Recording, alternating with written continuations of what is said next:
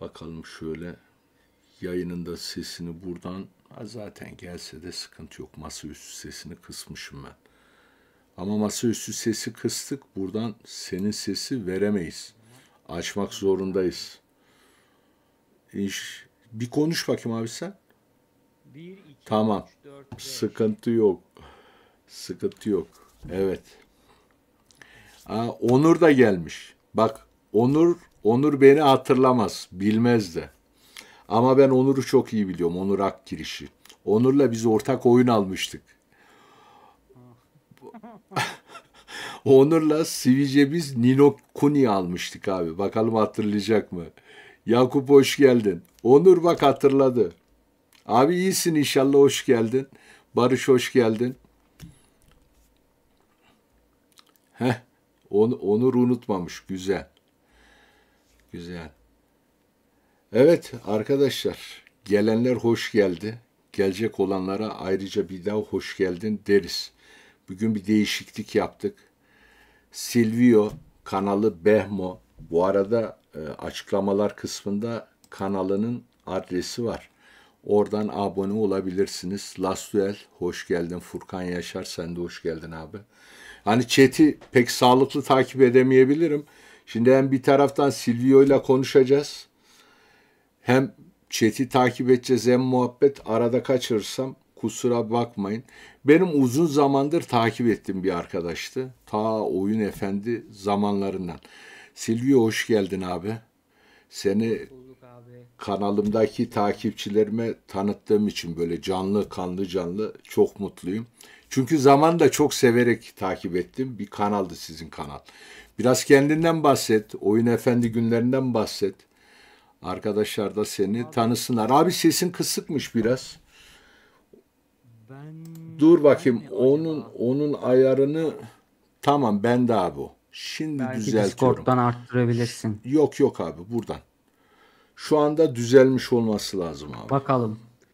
Deniyorum arkadaşlar sesim. Nasıl acaba? Bence düzeldi abi. Tamam. Güzel. Tamamdır. Valla ne diyordun abi?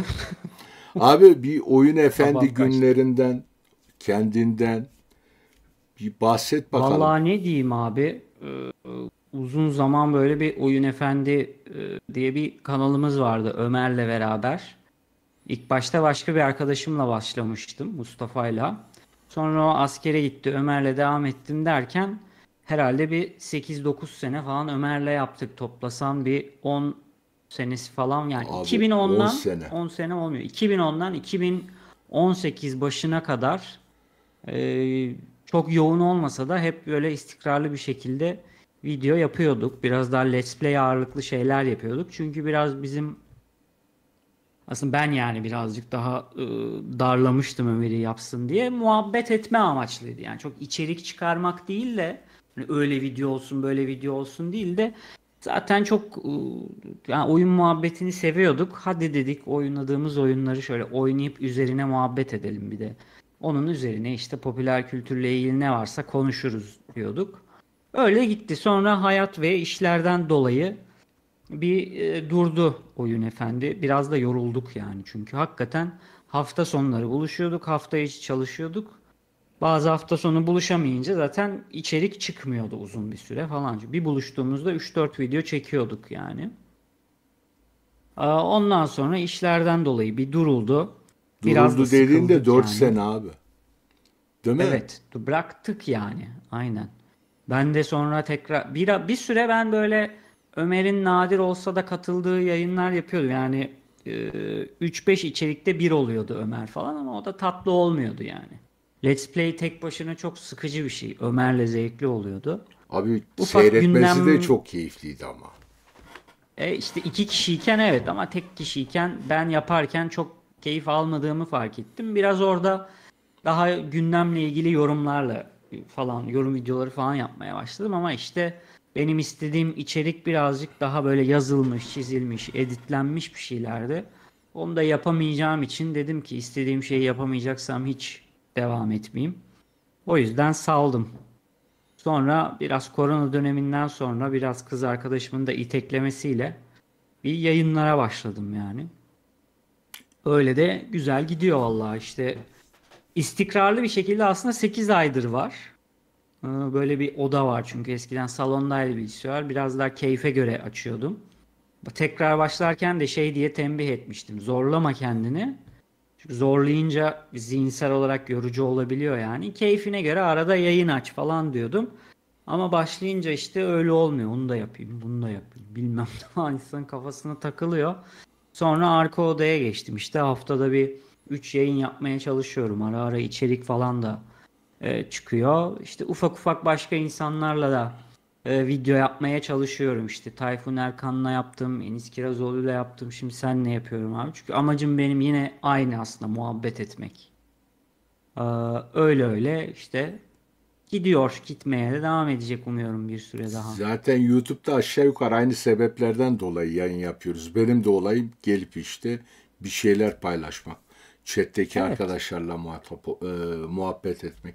Bir de senin gibi işte bir ara Talha'yla falan yayınımız oldu. Benim çağırdığım arkadaşlarım izledim vardı. E, iş- işte şimdi de senle nasip oldu. E, güzel. Çevremiz de genişliyor böyle. E, oyun kültürüne de katkısı oluyor dinlediğimiz arkadaşların bize söyledikleri şeylerin. E, biz bir şeyler paylaşmaya çalışıyoruz. Gayet de keyifli gidiyor. Ben çok keyif alıyorum bu işten. Sen de keyif alıyorsun. Keyif almasan zaten yapmazsın abi diye ya. tahmin ediyorum. Ama eski Evet, videolarınız evet, gerçekten çok sağlamdı. Ömer'le beraber yaptığınız videolar. Orada da ama kendinizi göstermiyordunuz abi. Ee, ya şöyle birazcık bir ara gösteriyorduk aslında ama çok iş oluyordu. Kamerayı koy, şarjını bilmem ne falan. Bir de 2011 yılından falan bahsediyorum. O zamanlar millet böyle hiç o tür şeyler yapmıyordu. Ee, Biraz daha bilgisayar başında şeydi. Biz koltuğa oturuyorduk falan böyle. Öyle kaydediyorduk kendimizi. Biraz zorladı bizi yani. Dedik ki tamam muhabbet ses olsun yeter yani boş ver. Ömer de böyle çok zaten şey değil yani. Kendimi göstereyim gibi bir çabası yoktu. Ben de dedim hani onun ama istediği hemen senin arka etsin. tarafta abi vardı yayında Ömer. Ee, ara ara geliyor. Zaten yayınlara geliyor Ömer. Bir kere gösterdi kendini. O, o da herhalde kanalın en çok izlenen videolarından ve yayınlarından biri oldu zaten. Bayağı merak Abi ediyorum açtım açtım seyrettim açtım açtım seyrettim Ömer'i. Evet evet ya şey işte normalde e, yani benim bu aralar yayınlar böyle 20-25 kişi falan oluyor. Bu bir buçuk sene önceydi bu yayın 50-60 kişi olmuştu. Uzun süre böyle 5-10 kişiydi benim yayınlar. Şimdi yeni yeni birazcık e, daha momentum kazanmaya başladı daha stabil olduğu için. O yayın yani insanlar Ömer'i o kadar merak ediyordu ki öyle aynı anda 50-60 kişi falan olmuştu. Güzeldi ama yani Max Payne'le ilgili konuşmuştuk bayağı. Hoştu. Ya eskiden işte Biliyoruz yaptığınız yayınlarda özellikle seçtiğiniz oyunlar benim çok hoşuma gidiyordu. Bana hitap eden oyunlar. Hala güzel oyunlar oynuyorsun yani her oyunu değil. Yani indie oyunları da oynuyorsun. Bu tarz kanal pek Türkiye'de yok gibi. Vardır illaki de.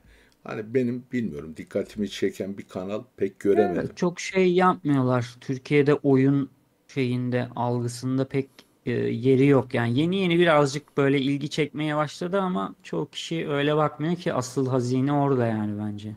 Abi işte ana akım oyunlar topluluğun daha çok ilgisini çekiyor. Ha işte ben genelde roleplay oyunlar, JRPG'ler, ara sıra işte açıyorum. E, indie oyunlara falan bakıyorum. Ha bu tarz oyunlar pek Türkiye'de ilgi görmüyor ama ben ısrarla oynamaya devam ediyorum. Bu arada Persona gelen arkadaşlar da hoş geldi. Özür çekiyor. dilerim abi. Alperen, Game Kanal, Kano. Ee, Arkadaşlar yanlış anlamayın. Önceden tekken böyle devamlı hemen geldiniz mi, hoş geldiniz diyordum. Ama bu canlı yayında biraz zor olacak size yetişmek. Ee, Bir taraftan da Silvio konuşurken kesmek de istemiyorum. Buyur abi. Ee, ne dediğimi unuttum. Abi Ne işte indie oyunlardan, JRPG'lerden Ha, ben ya e, oyunlarından şey bahsediyordum. abi ana akım ana akım dediğin Rudis selam. Ana akım dediğin zaten her zaman en çok ilgi çeken şey yani. Edebiyatta da öyle, sinemada da öyle, oyunda da öyle oluyor.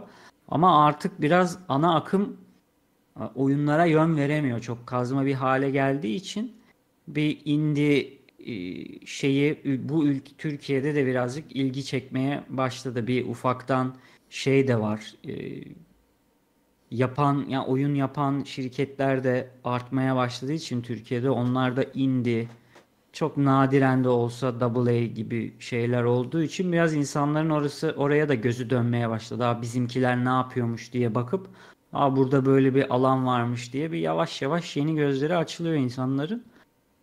O tabii bambaşka bir konu yani. Sektörün İronik bir konu daha var ama şeyler, abi. O başka. İronik bir konu daha var. Şimdi Nedir abi? 3A blockbuster oyunların maliyetleri 200-300 milyon dolarlara çıktı. Aynen. Yani Oraya geçmek o, o, istemedim. Yani 500, 600, 700 milyon dolarlık oyunlardan hiç bahsetmiyorum. Milyar dolarlık oyunlardan. İşte GTA 6 gelecek. E, Allah bilir kaç milyar dolara mal olacak. Şimdi büyük firmalar ya hatta e, Microsoft, Sony e, bunlar baya baya dile getiriyorlar. Yani AA oyunlara daha fazla sanki ağırlık verecekler ki AA oyunlar da var ya bak indie oyunlar ayrı bir kategoriye koyuyorum. AA oyunlar aslında bir açıdan daha özgün içinde birazcık hani deneysellik de barındırıyor ya. Benim daha çok ilgimi ya. çekiyor ama inşallah altını doldurur bu büyük firmalar. E, sektör de bir taraftan buna gidiyor abi. Ya AA dediğin şey zaten 7-8 sene öncesinin AAA'leri aslına bakarsan. Yani çünkü e, atıyorum işte Evil West falan var son dönemde çıkan. Bence bayağı güzel bir AA oyun. Biraz God of yeni dönem God of War'un aksiyonunu e, eski tarz e, daha düz bölümlere uyarlamışlar. Yani konusu falan berbat. Level dizaynı da iyi değil. Ama combat mekanikleri o kadar iyi ki ben başından sonuna kadar aşırı zevkli oynadım işte. Son dönemde daha popüler olan Hi-Fi Rush falan da o tür e, eski tarz oyunlara göz kırpan şey işte. Son dönemde Banishers falan da öyle. Ben öyle oyunları şu an daha çok görmek isterim. Çünkü AAA olunca zaten açık dünya. Şimdi birazdan konuşacağız 3-4 oyunla ilgili. Hepsi açık dünya ya. Şeyi hatırlar mısın kardeşim. sen? Bu 2013, 2014 belki 2012 de olabilir abi. 2K'in desteklediği bir proje vardı. Bu AA oyunları yapan firmaları işte maddi olarak destekleyip onların oyunlarını yayınlayacağız diye böyle birkaç firmayı falan toparlamışlardı. Hatta Obsidian'da o destekledikleri stüdyoların içindeydi ama yani, pek de devamı evet. gelmedi. Pek de devamı gelmedi. Bu arada hoş, hoş geldiniz yeni gelen arkadaşlar. Jim Ryan hoş geldin. Jim Ryan ilk defa geliyor herhalde. Ben ilk defa görüyorum. Abi işte yeni bıraktı görevi. Yeni vakit, anca vakit Bizim yayına geldi abi. Adam ama emekliliğin tadını bizim yayınlarda çıkaracak herhalde. Aynen öyle. Öyle görünüyor. Aa bak Ori Aynen. dediler abi bu ay onların yeni oyunu geliyor. Aynen. No Rest for the Wicked. Evet çok manyak bir early şey access olacak, olacak ama mutlaka bakacağım yani. Zaten abi Nisan Mayıs inanılmaz iyi oyunlar çıkacak indie olarak. Çok fena geçecek. Abi Hack yani. Slash gözüme bile var ya. 7-8 tane çok iyi oyun var yani. Aman aman aman aman. And Slash abi. Titriyorum böyle and Slash dediler böyle izometrik. Diablo 4'te patlayınca yani patlayınca dedim yani benim açımdan patladı. Ha, bitiremedim Sıkıcı ya. Abi. Vallahi bitiremedim. Ben abi. bitirdim de yani bitirmesem de olurdu. Yok vallahi yani bir oyuna verip de pişman oldum.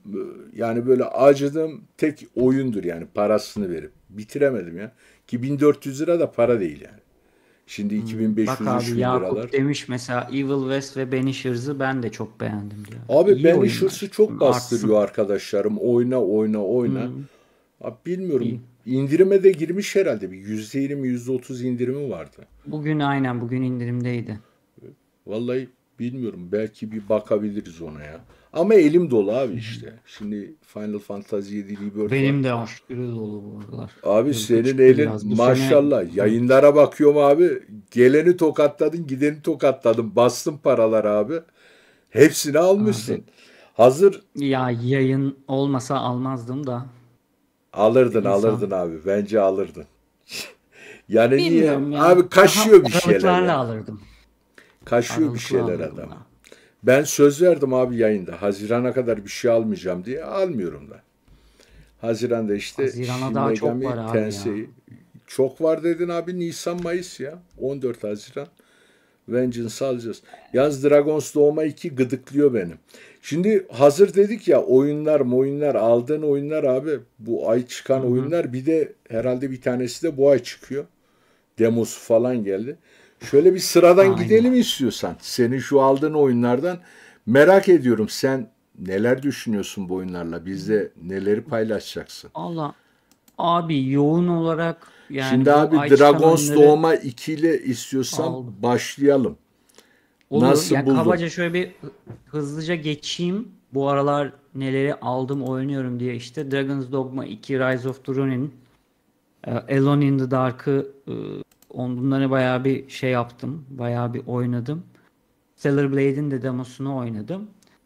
Bunlardan ince ince konuşuruz. Dragon's Dogma 2 valla biraz kafam karışık abi o oyunla ilgili. Ben zaten ilk oyundan biraz şeyim o seriye. Ee. Çünkü ben ilk oyunu bir böyle 15 saat falan oynamıştım 15-20 saat ve şeydi. Abi görevleri göstermiyordu haritada. Ben de oyunun yapısı öyle zannettim. Ve bir şekilde diyaloglarla falan çıkarmaya çalışıyorum görevlerin ne olduğunu. Hiçbir şey gözükmüyordu haritada yani. Waypoint falan sıfır. Sonra Ömer aldı abi oyunu bir iki ay sonra. Dedi ki abi bende waypointlar gözüküyor. Öyle bir sorun yok yok ben yani bende öyle bir durum yok dedi. Ve sonra baktım birkaç kişi daha birkaç kişi daha öyle bir bug olmuş.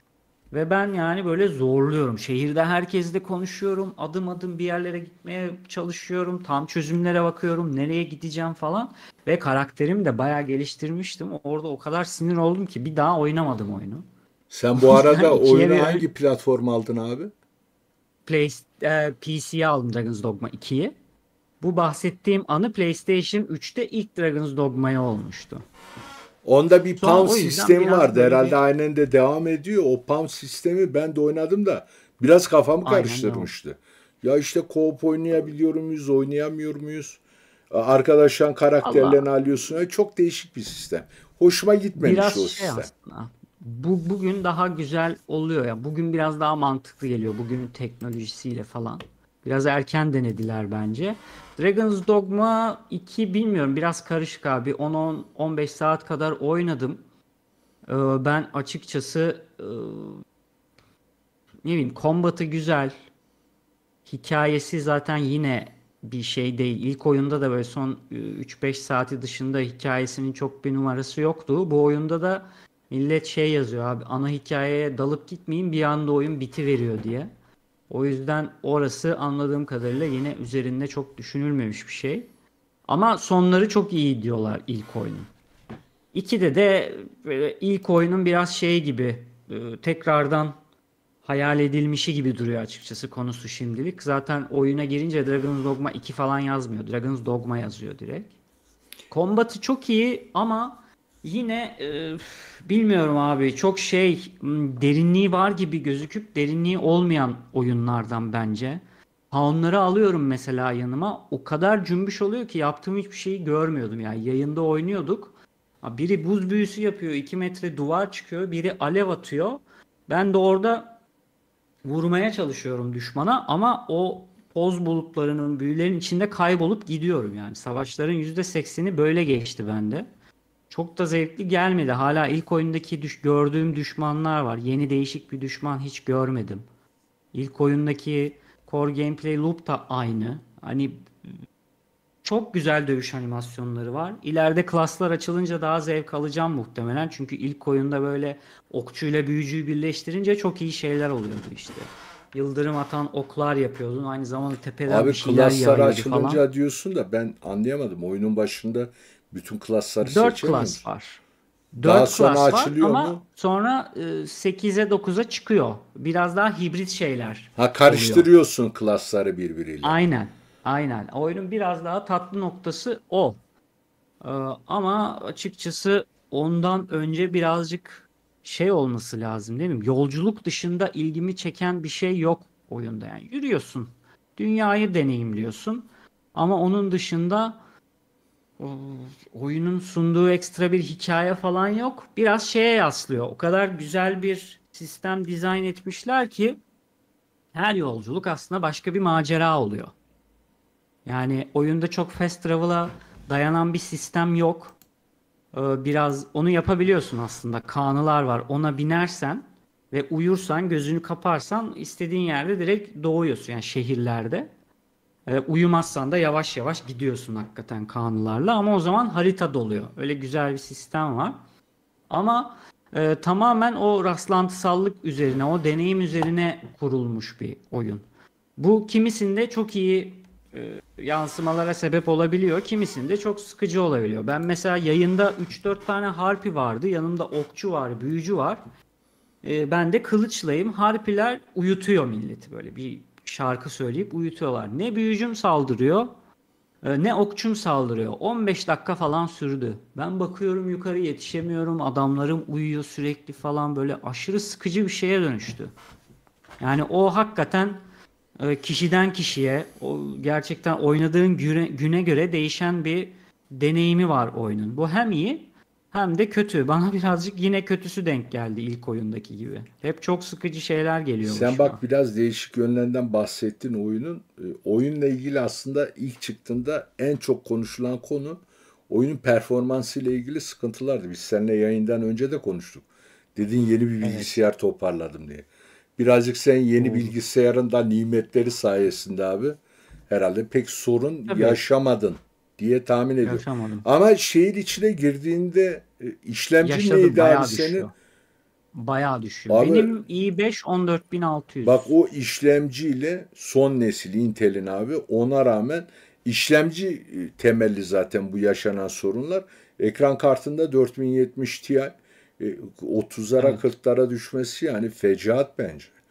Şunu evet, da söylüyorlar yapay abi. Yapay ile alakalı. En diyorlar. iyi deneyim diyorlar konsolda diyorlar abi.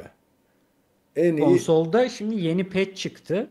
Oyun ilk çıktığında ankepti ve e, bir anda 40 FPS'ye çıkıp 20'ye düşebiliyordu. Şimdi biraz daha 30'a sabitlediler. Zaten performans modu yok. Ama zaten Capcom'un RE engine'i geniş alanda pek iyi çalışmıyor. Ben bu oyunda iyi çalışmasını beklemiyordum. Görüntülerini de beğenmiyorum. Bir sanat dizaynı olarak fena değil ama bulutlar falan böyle berbat gözüküyor yani. Grafikleri iyi değil aslında. Sanatı iyi oyunun. Ee, o açıdan şaşırtıyor. Çünkü RE Engine bence yani Capcom'un motoru zaten ama mükemmel kullanıyorlar yani. Kendi motorunu bu ama kadar iyi kullanan pek açık dünyaya var. da uygun değil gibi abi o motor ya. Değil değil. Yanlış bir şey bence. Uymuyor zaten abi. Ne görseli uyuyor. Belli ki scale olmuyor yani. O ışık oyunlarını büyük dünya genişleyince yapamıyorlar. Hem de optimize edilemiyor. Çünkü olmuyor yani. İşte bu en son yamayla abi Ray Tracing'i kapatma seçeneğini falan aktif etmişler konsollarda. Evet. Sanki default olarak ilk başta geldiğinde Ray Tracing açıkmış gibi ben algıladım bu yamada bunu getirdilerse. Enteresan. Ya işte evet, orada biraz akılları kaçtı muhtemelen. Direkt bir opsiyon olmasa da millet laf atacaktı muhtemelen. Artık şey yaptılar. Biz opsiyonu koyalım da açan açsın. Çünkü kimisi de sallamıyor abi. Herkes senin benim gibi yok tekniği FPS'sini düşünmüyor. Kimisi 20 FPS'de olsa oynar. Bir de popüler de oldu bu oyun. 2,5 milyon satışı geçtiği söyleniyor. Herkes oyunlarla bizim gibi ilgilenen e, ya her oyuncu öyle olmayacak. Kimisi alacak farkında bile olmayacak abi. Abi oyun FPS güzelse zaten kaç FPS oldu? Yani 25 evet, bir noktada. Ya oynuyorsun, geçiyorsun. Çok böyle oyun deneyimini baltalamıyorsun. Abi ben kendi canlı yayınlarımda Herkes falan öyle düşünmüyor. Ben de senin gibi düşünüyorum abi, ama gözüm kanıyor diyen tipler var. Biliyorsun değil mi onlar? Evet. Ya işte evet. 700p, 800p, 30 FPS gözlerim karadı. Hay gözlerin çıksın diyorum ya. Lan oyunun oyna işte güzel bir oyunsa yani bunun P'sine, FPS'sine bakmayacaksın. Ha oyun işte kompetitif, multiplayer bir oyun. Bak onlara lafım yok. 60 olsun, 120 olsun. E, insan arıyor böyle şeyleri. Yarış oyunlarında, spor oyunlarında, FPS'lerde falan. E işte Dragon's Storm oynuyorsun. Lan 30 FPS'de oynayabilirsin. Yani bu dünyanın sonu değil. Baldur's Gate 3 oynuyorsun. 30 FPS oynayabilirsin. Hani ben Tabii. kendim şahsım adına bunu dert etmiyorum. E, beni takip eden arkadaşlara da dert etmeyin diye sağlık veriyorum. Bu arada abi özür dilerim. Game Kanal şimdi bizim kanalı uzun süredir takip eden arkadaşlardan birisi. Abi adam çamaşır suyu içmiş. Geçmiş olsun ona. Zorla mı içirdiler? Artık yemeğin içine zehirlensin diye mi attılar? Geçmiş olsun. Nasıl Abi oldu? büyük geçmiş olsun ya. Allah sağlık saat versin abicim. Kendine dikkat et. Evet abi yani şimdi bu- bunu söylüyorlardı. Ben bir daha altını çizeyim. Şimdi Evet, sen de bak Doğru. böyle gayet güzel bir bilgisayar abi. 14600K mesela. i5 son nesil. E, 4070 Ti. Tillağı var yani. O Ti tillağı yani kartın. Çok iyi kart. Hatta e, yani dördüncü nesil kartların bence en iyi fiyat performans kartı. E, Sen ona rağmen şehre girdiğimde 30'a düşüyorum diyorsan hani bu Abi konsolda 30'un altına düşüyor olabilir yer yer hatta. işte konsolda daha iyi bir tecrübe var diyenlere de sanki hak veriyorum gibi. Ben ben ya bilmiyorum ya. Hani görsel olarak yakalayamaz bilgisayar. Ona lafım yok. Tabii tabii. Ya stabillik konusunda. Stabillik konusunda. evet evet yo, orası kesin ama yani. Sonuç olarak alınır mı abi? Yani son noktada Dragon's Dogma'yı bana mesela ben JRPG, RPG çok seven bir oyuncuyum. Hani ilk oyunu da biraz oynadım. Ne dersin Böyle alayım mı? olduğu zaman hmm, çok questlere takılmayacaksan biraz yolda dolanayım, dünyayı tarayayım diyorsan güzel oyun. Biraz şey kafasıyla oynadığımda daha hoşuma gitti. Sanki Abi 100 saat o zaman. e, Death Stranding'in orta çağda geçeni gibi düşününce falan böyle biraz. Çünkü çok yolculuk var. Fast travel da yapmanı istemiyor. Hakikaten taban var gidiyorsun. E, o zaman olabilir ama ben yani genel olarak çok da mutlu değilim ne yalan söyleyeyim. Belki diğer klaslar açılınca falan diyeceğim de. Çünkü çok saçma şeyler oluyor abi. Bir yere mesela anlatacağım hızlıca. E, gizlice girmeni istiyor oyun. Görünmemen gerekiyor böyle işte kaleye falan gireceksin. Biri seni içeri alıyor. Oyunda eğilmek bile yok. Duvarın arkasında duruyorum. İşte muhafızlar Nasıl abi oyunda bekliyorum. eğilemiyor musun? Yok eğilme yok. Çömelme tuşu yok yani. Yok. Ee, neyse geç, geçti biri. Sonra başka biriyle böyle yüz yüze geldim. Bir şey yapmadı. Dedim gizli olmam gerekiyordu. Bana dikkatli ol kimse görmesin seni dediler. Bir şey olmadı. Herhalde bir şekilde bilmiyorum anlamadım. Gittim. Böyle 5-6 adamın daha yanından geçtim. Hiç bana mısın demediler. Yürümeye devam ettiler. Sonra ne hikmetse bir tanesinin bana tutulası geldi. Ben hala yine gizli olmaya çalışıyordum ama gördüğünü fark ettim. Oyunda gizlilik sistemi yok. Bir sürü adam seni görüyor, hiçbir şey yapmıyor. Ne hikmetse bir tane adam e, seni gördüğü anda saldırıyor falan böyle. Çok aptal aptal görev dizaynları var yani. Quest sistemi falan Abi Japonlar var ya açık açıkçası. dünya oyun konusunda bence biraz beceriksizler ya. Yani bunu şey Final Fantasy 7 Rebirth'ü e, hariç tutuyorum. Yani daha kontrollü açık çıkan. dünyayı iyi yapıyorlar onlar. Wide Böyle open diyorlar çok hani geniş şey Böyle yapamıyorlar. tam açık dünya değil de wide open diyorlar. Yani ne tam açık dünya ne böyle işte lineer e, böyle bir yere akıp gittiğin oyun. Ben de onu tercih ederim abi. Horizon gibi zibilyon tane aynı şeyi yapmaktansa işte Yakuza gibi bir şey oynamayı tercih ederim yani. Yani sonuç olarak e, ben zaten hype olmamıştım abi bu oyuna. Seni de dinledikten sonra e, hala aynı durumda olduğumu söyleyeyim. Ya Ha, evet, güzel bir indirim gelir, beğenenleri. yamalar gelir. Abi şöyle bir 7-8 ay sonra oyun olur bakarız o zaman. Evet. Benim benim Ben de bir düşüncem o yönde. 3-5 saat daha 3-5 daha 3-5 saat daha bir şans veririm ama oynadıkça o kadar yapılmaması gereken şeyler gözüme çarpıyor ki. Lokon yok abi oyunda. Ah, Lokon yok. Düşmana kitlenemiyorsun. İlk oyunda da yoktu. abi büyümüyü atacaksın yani ortaya mı atıyorsun? Araya demiç vursun diye mi bekleyeceğiz? Ya kendi kitleniyor yani. Çok çok saçmalamıyor ama dev- e, blok yaparken falan çok saçma oluyor yani. Veya bazı düşmanlar var abi bir anda arkana zıplıyor. E bu mouse keyboard oyunu değil. Kontrollü oynuyorsun. Hayda döndür kamerayı falan. Hiç zevkli değil ki. Bekleyeceğiz Bu abi. kadar saçma bir şey ben görmedim. Nasıl hala Lokon olmaz? İlk oyunda koymadılar. Konuştum o kadar çok net hatırlıyorum. Aradan yani 10 yıl geçti. Hala Lokon yok ve düşmanların bazıları çok hızlı. Doğal olsun yani. Bir anda arkana geçiyor falan. E ben öyle 2 saat kamerayı döndür falan. Hiç zevkli değil. Bir blok yaptığın zaman kitleniyor böyle. Bak baktığın yöne doğru kilitleniyor. O sırada düşman hemen yanına geçip vursa böyle dönmek için ayrı bir tuşa falan basman gerekiyor. Böyle saçma bir sistem olabilir mi? Capcom bunu nasıl yapıyor ben anlamadım. Abi dedim ya bak Japonlar açık Ve dünya kimse bahsetmiyor bundan. Ben daha abi. çok ona garipsiyorum. Abi Japonlar beceremiyor abi. Açık dünya. Açık Abi dünya oldu mu adamlar saçmalıyorlar. olmamasına kimse nasıl bir şey demez ya. Ya buna rağmen bir işte bir de ne bir işlemci yerde. sorunu var bu oyunda ya. Yani nasıl kullanılır var bu işlemcileri ya? Enteresan olmuş. Sorunlu diyor, Gerçekten. baştan aşağı. Capcom bir de ya. Yani son dönemde yaptıkları oyunlara bak. Ee, Resident Evil Çok 4 severim remake ama- ne kadar iyiydi. Resident Evil 2 ne kadar iyiydi. Yani Village da çok güzeldi abi. Oynadık Abi, yani. yani Taş gibi oyunlar. Küfür edeceksiniz belki ama ben Exoprimal'ı bile bir 10-15 saat bayağı eğlenerek oynadım. Tamam daha oynayacak bir şey yoktu ama mekanikleri gayet güzel çalışıyordu. Oynarken zevkliydi. Frame rate'i gayet güzel akıyordu. Vuruş hissi vesairesi falan. Kötü bir sistemi vardı. Millet anlamadı bile oyunu. Çünkü oyunu sana kendini anlatmıyor. Ama ondan bile zevk aldım. Ben Dragon's Dogma'da Exoprimal'dan falan çok daha fazla sıkıldım yani. Belki birileri küfür edecek ama Vallahi. öyle vallahi benim için. Ama e, güzel oldu. Şimdi senin fikirlerini de dinlemiş oldum. Şimdi bana da sürpriz yaptı Silvio. Yayından önce oturduk. Biz bir 20 dakika, e, yarım saat falan muhabbet ettik. Ya ben şimdi gıdıklıyorum. Oyunlarla ilgili bir ipucu falan verecek mi? Yok diyor. Spoiler yok. Ya nasıl yok spoiler? Yayında konuşalım. Yayına bir şey kalmaz. Ama döküldün ha. Harbiden yayında Abi, da döküldün. öyle. Güzel oldu.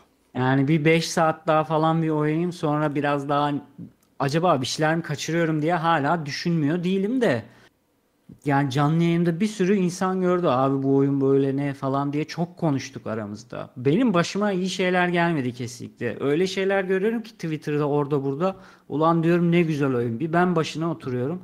Aşırı kazma kazma şeyler oluyor yani. Dragon's Dogma böyle arkadaşlar. Tabii bir tek bunlar yoktu. Ondan önce e, Rise of the Ronin daha önce çıktı değil mi abi? Team Ninja. Aynı gün çıktı. Aynı gün mü çıktılar? Aynen. Bir de abi bunlar herhalde birbirlerinin kanına mı susamışlar? Ne yapmışlar? Team Ninja ile Capcom. Yani Ya bilemedim. bilmiyorum evet Japon açık dünyaları çıkmaz çıkmaz çıkınca da aynı gün ya. Abi biraz da Rise of the Ronin'den bahset bize ya. O nasıldı? Vallahi Rise of the Ronin'i de bayağı beğendim. Böyle tam beklenenlerin tersi Ama işte ama, neyini beğendin? Şimdi e, ya kombatı çok iyi. Kombatı o kadar iyi ki e, zaten kombatı için oynuyorsun. Abi yani Team evet Ninja ama. görselleri görse efendim Team Ninja abi. Ee, öyle. Adamların olayı o. Ama şimdi Team Ninja'nın şöyle bir sıkıntısı vardı özellikle son dönemlerde. Onu iyice görüyorduk işte. Neo Wu- Wulong olsun. Level dizaynı adamların çok kötü. Combat sistemine yaslıyorlar. Bölümlerin hiçbiri enteresan değildi aslında. Konu anlatımı da pek iyi değil. Konular da enteresan değil. Ee, ve şöyle bir sistem vardı oyunda. Ana görevleri yaptıktan sonra atıyorum 5 görev yapıyorsun. 6. görev geçtiğinde bayağı under level kalıyordun. Sonra bir bakıyorsun bir sürü yan görev açılmış ve o yan görevler ilk yaptığın görevlerin küçük küçük alanlara bölünmüş hali. Dolayısıyla aslında aynı bölümü sürekli oynatıyordu karakteri geliştirmen için. Bir de çok kötü bir loot sistemi vardı. Ee, o yüzden ben Rise of the Ronin'den korkuyordum yani. Tamam kombatı çok iyi yapıyor bu adamlar da bakalım görev dizaynları nasıl olacak diye. Burada sürekli aynı görevi yapmadığın için ve sürekli kombata girmeye devam ettiğin için çok zevkli geldi bana yani. Eski oyunlardaki o aynısının küçük alanında oynuyorsun hissi yok bu oyunda. Kombatta çok iyi olduğu için aslında sürekli güzel güzel dövüştüğün bir oyun. Ama açık dünyası ve süper falan değil. Yine basit şeyler yapıyorsun. Yani Tsushima'ya çok benziyor açık dünyası da. Konusu güzel kesinlikle. İşte Yokohama döneminde Yokohama'da geçiyor 1860'larda. Ee, Japonya'ya artık iyice e, batı ticaretini açmaya çalışıyorlar. Dolayısıyla Hollanda geliyor, Fransa geliyor, İngiltere geliyor. New York da Ee, o hep dönemde farklı- geçiyordu değil mi abi? Galiba niye olabilir? Bah hatırlamıyorum ya. Orada da İngilizler mi İngilizler oyunun hemen başında. Olabilir. Bunda ama daha gerçekçi olmaya çalışmışlar. Tabii ki saçmalıyor yani oyun da. Yaratık falan yok en azından. Ama bak şöyle bir Ee, enteresanlık var abi. Şimdi bu oyuna editörlerden daha fazla yüksek e, puan vermişler Metacritic'te oyuncular. Evet. Hani şimdi Aynen. grafikleri Bence çok abi editörler eleş- eleştirildi. Ondan sonra e, ne bileyim e, açık dünyadaki bazı olaylardan dolayı eleştirildi. Ata binme olayı eleştirildi. Ama bakıyorum abi oyuncular editörlerden daha fazla beğenmişler bu oyunu. Abi editörlerle ilgili şöyle bir sıkıntı var. Aslında hatırı sayılır bir süredir var ama bazı oyunlar bunu iyice belli ediyor. Editörler daha böyle büyük e, ana akım medyadan bahsediyorum aslına bakarsan. Böyle YouTube'da içerik üreten insanlardan falan bahsetmiyorum. Editörlerde abi genel olarak e, evet oyunları iyi biliyorlar. Oyunlara çabuk adapte oluyorlar. Ee, ama bir noktada da bir ötesine geçemiyorlar. Yani oyunlarda ustalaşma diye bir şey yok onlarda. Biraz daha işte third person'sa mekaniklerini e, Ahmet Mehmet'e göre daha çabuk kavruyorlar ama iyi oynamıyorlar oyunlarını. Hatta IGN çok linç yiyor bundan. Sürekli bir gameplay videoları yayınlıyorlar. O kadar kötü oynuyor ki altı full küfür. Ulan böyle oyun mu oynanır bilmem ne. Sonra diyorlar ki mesela Doom'da olmuştu bu 2016 Doom'da. Doom çok sıkıcı, çok düz bir oyun falan. Preview'ları öyleydi. 10 dakikalık bir gameplay yayınlamışlar. Abi adam hedef bile alamıyor ki doğru düzgün. Yani taş gibi de bir oyun yerinde yeninde durmayacağım sürekli silah değiştireceğim. Ya da Max Payne 3 oynuyor. Adam diyor ki çok düz bir oyun. Cover'a giriyorsun. Max Payne öyle oynanmıyor abi. Max Payne'i sürekli hareket edip atlayıp zamanı yavaşlatıp oynayacaksın. Gidip de sütunun arkasında bekleyip ateş ettim, girdim diye oynarsan sıkılırsın tabii yani. Adam sana o cover mekaniğini gir full orada yap diye vermiyor aslında. Daha Japon yani Remedy çok Japon tasarımıyla oyun yapan bir şirket. Full power up'lar üzerine kurulu oyun yapıyor ve senin onları hep aktif şekilde kullanmanı istiyor. Ama sen gidip Quantum Break'i de cover'a girip ateş edip çıkıp oynayabilirsin. Berbat bir oyun olur. Adamın sana verdiği bütün olanakları hiç sabit durmadan kullanırsın. Çok zevkli bir oyun olur. Rise of the Ronin'de de ben açıkçası çok iyi kavrayamadıklarını düşünüyorum birçok editörün dövüşü vesairesini. Çünkü hakikaten zor. An bence kolay oyun da iyice alıştım. Tim Ninja oyunu Böyle yani bir çok şey var yani editörlerde son 5-7 yıldır bu ikilemi çok görüyorum yani. Adamlar oyunu mantığını anlıyorlar. Bir adım öteye gitmiyorlar yani. Ben o yüzden açıkçası şey Bu olduğunu inceleme düşünüyorum. konusunda Ağzına- abi ben en çok Famitsu'ya güveniyorum. Hani dört editöre veriyorlar. Dört editörün ben. Yok Famitsu bu konuda iyi abi. Yani en azından şöyle bir durum var. Dört editör Evet. eğer biri yani onar puan üzerinden inceliyor. Puanını veriyor. Toplam puan bu dört editörün verdiği puan. 40 üzerinden değerlendirmiş oluyorlar. Evet, biliyorum. Ha. Aynen. Yani orada biri beğenebiliyor, biri beğenemeyebilir. E, Japonlar da güzel oynuyor bu tarz oyunlar. Şimdi haklarını verelim. Ya evet işte bu böyle bir şey var. Abi birçok insandan izliyorum Ronin'i falan, yayıncıdan, oradan buradan falan. Ya kimse daha ilk e, bölümü geçemiyor ki. Yani 10 dakikada geçilecek şeyi 3 saatte geçiyorlar. Sonra oyuna kuruluyorlar. Şey falan diyen oluyor. "Aa, bu oyunu işte sadece zorluğu konulsun diye yapmışlar. Allah kahretsin falan diyorlar yani. Yaz güzel bir haber vereyim. Elden Ring'e biliyorsun şey gelecek. E, R3 DLC geliyor. Hı hı, DLC. Abi aynen. DLC'de herhalde easy seçeneği gelecekmiş. O 1 Nisan ya. 1 Nisan mı? Lan bu bir gün Aynen. ikinci oldu abi. 1 Nisan yedik ya. Bu sene 1 Nisan ya bu sene en vizyonsuz 1 Nisan'ı yaşadık ya. O her şeyi söylediler. Yok ki Rockstar'la bir X e, Rockstar'ı aldı bilmem ne falan. Çok Abi şeydi yani. Game Pass dolarla falan satışa geçecek FRP'net. Ben o trolü de yedim biliyor musun?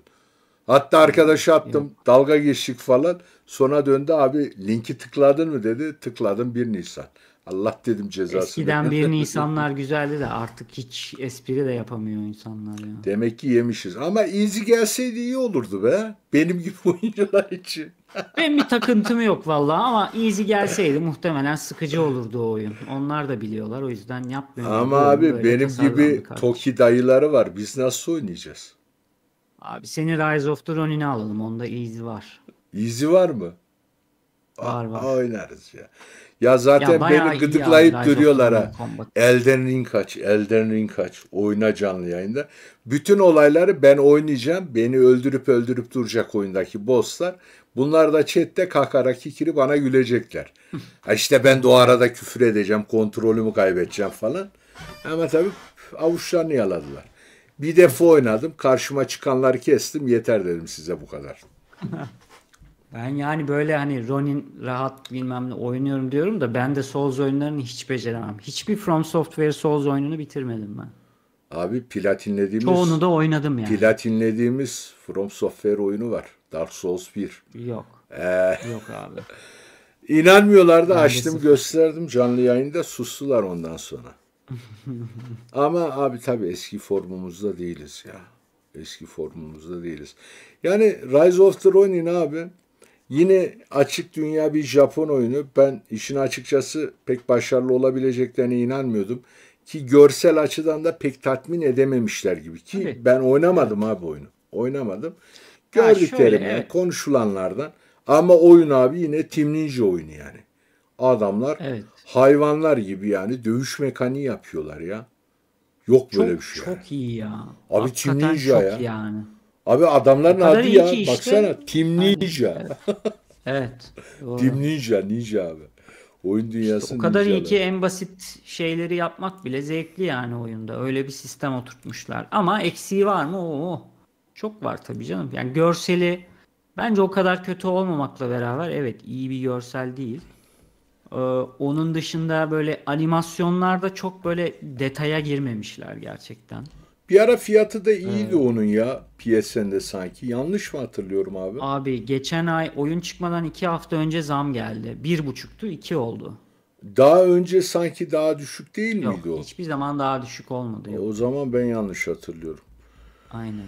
Ha benim alacağım Şeyle- oyun mu değil abi. Ben yok. Yani oynayacaksam gider Souls tarzı bir oyun oynarım. Souls'un kendisini oynarım. Souls tarzı derken. Ya bu Souls tarzı falan değil. Kesinlikle Souls tarzı değil. Öyle bir şey de hiç hissetmiyorsun. Zaten oyunun ana görevleri gerçekten çok küçük alanlarda tasarlanmış. Hani bir bir yere sızman gerekiyor. Hesapta sızacaksın tabii ki de hayvan gibi kol bacak keseceksin. Vuruşa vuruşa gidiyorsun. gerçekten de o e, işte villanın bahçesinde 3 katlık villanın altını üstüne getirdiğim bir görev yani çok ana görevleri büyük değil oyunun. O yüzden hiç girmiyor Souls şeyine. Bayağı bildiğin açık dünya bir oyun. Team Ninja aksiyonu var ki bana sorarsan Wulong falan da hiç Souls-like Şeyle kıyasla abi. Ninja Gaiden'larla kıyaslasan nasıl ıı, kıyaslarsın? Evet on, onlara çok benziyor ya bana sorarsan. Zorluğu. Ha. Yok zorluğu öyle değil. Abi ya. mesela Abi ben- save noktaları arasında bir şey var mı Ninja Yok Gaiden'daki yok gibi? çok rahat abi. Bayağı Hani rahat. boss ölüp en başa hiçbir- dönme falan yok yani değil mi? ölünce hiçbir şey kaybetmiyorsun bile neredeyse. Görev alanları da dediğim gibi çok kısa. O yüzden ölsen başa dönsen bile 3-5 adam Sıkıntı yok öncesine yani. dönüyorsun. Yok abi yok. Hiç zorluğu. Hatta ben şu an bazı düşman tipleri zorluyor ama çok kolay gelmeye başladı mesela bana şu an oyun. Ya oynadıkça da tabii de. öğreniyorsun biraz oyunlar. Öyle Onun- oluyor. Onun da etkisi var. Ya abi. dövüş sanatlarına olan saygısını görüyorsun adamların. O çok iyi yani. 8-9 tane farklı dövüş silahı var. Hepsinin silahı, ay hepsinin animasyonları falan bambaşka ve her silahın da kendi içinde 5-6 farklı e, dövüş tarzı var. E, farklı süperleri var. Dolayısıyla silah başına böyle Farklı farklı bildiğin 12 stansler tane mi var aynı süper. şeydeki Evet, gibi? farklı stansler var. Ve her Şeydeki gibi Ghost of Tsushima'da gibi. Onda Evet, da 3 ama- stans vardı mesela. Abi bunda e, silah başına 6 stance falan var Hmm. ve çok değişiyor stance'lerin hareketleri. Öyle söyleyeyim. Abi o zaman ustalaşmak için de bayağı bir oynamak gerekir diye tahmin ediyorum. E, prensip olarak çok farklı değil ama görsel olarak, hız olarak farklı. Yani e, şeyi kolay mesela. Peri zamanlamasına alışmak çok kolay. Her düşmanın peri zamanlaması aynı yani. Sa- tam kılıç sana değmeden önce çarpacaksın. Bazı oyunlarda şey olur ya işte bir an flash yapar, erken atak erken basman gerekir. Kimisinde son anda bak basarsın ataklarda. Bu oyunda öyle değil. Çok net peri noktası. Kılıç sana en yakın kısmındayken basacaksın. O yüzden düşmandan düşmana çok şaşırtmıyor. Tabii ki atak timingleri çok farklı düşmandan düşmana. Ama şey gibi değil. Ulan bunun bu atağın neresinde peri tuşuna basacağım diye Abi düşünmüyorsun. Souls'larda oluyor mesela. Kaldırıyor tam vuracakmış gibi. O yüzden? Havaya sallıyor, alttan getiriyor böyle vuruyor. Sana fake atıyor yani bir nevi. E, o tarz Bunda şeyler da var yok. fake atma. Ama Souls'da şey var. Peri zamanlamalarında mesela ataktan atağa peri zamanı değişiyor. Kimisinde elini kaldırdığında yapıyorsun. Kimisinde kılıç sana yakınken yapıyorsun. Ee, o bunda çok daha spesifik zamanlaması. Kolay olmuş bu oyun yani. Onlar da kolay olsun istemişler. Ya işte son dönemde hani biraz da bazen şikayet ediyoruz ya. Bütün oyunlar birazcık ca- casual'laşıyor diye.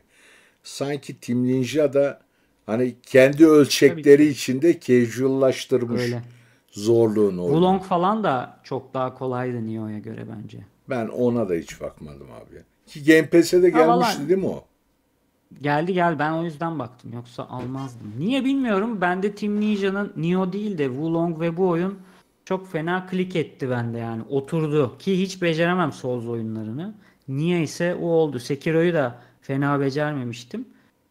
Ee, ama Elden Ring'de falan çok da kolay oynayamıyorum. Souls oyunlarını zaten hiç bitirmedim. Yeni Shiro'yu nasıl geçtiniz Sekiro'da ya? Yok geçmedim ya. Geçmiş. Az oynadım ya Sekiro'yu. Ama şey yaptım yani tamam ben bunu devam ederim dedim. Devam etmedim. Abi şimdi bundan sonraki bahsedeceğimiz oyun da bence bu oyunla aslında ben bir yerde bağlayacağım bu iki oyunu da. Eyes of P güzel. Şimdi Stellar Blade abi. Stellar Blade. Aynen bu da Souls-like. Hadi gel. Ama nasıl Souls-like? Abi bu bana sonra ya Souls-like demek biraz moda oldu sanırım. Yani Rise of the Ronin Souls-like değil. Bana sorarsan Stellar Blade de çok Souls-like değil. Ben biraz daha böyle Enslaved'e falan benzettim abi. Ee, bir ince daha Devil May Cry Enslaved'e falan benziyor. Evet şöyle bir durum var yani düşmana pozisyon alma ve perileme e, Souls oyunlarından feyiz alınmış ama artık Souls oyunları şuna döndü. Nasıl PlayStation 2 döneminde biraz crowd control olan aksiyon oyunlarına ya God of War ya Devil May Cry gibi diyorlardı ya. Evet. Şimdi de e, Peri var işte. sisteminde peri oldu mu? Tamam, Be- Souls-like. tamam, Souls-like. Tamam. Ama değil yani. Evet adamlar çok iyi bir sistem oturttu. O yüzden bu sistemleri kullanıyorlar ama bu peri sistemini falan kullanan her şeye de artık Souls-like demeye gerek yok. Bu kendi bir janrası. Bir aksiyon oyunları artık böyle abi. Çoğunu böyle Abi ben yapıyorlar. daha çok Devil May Cry'a benzetirim bu oyunu. Yani izlediklerime göre söylüyorum. Ya oynanışı o kadar şey değil. Crowd control var. Devil May Cry'dan ziyade God of War'a daha çok benziyor derim God of. War'a.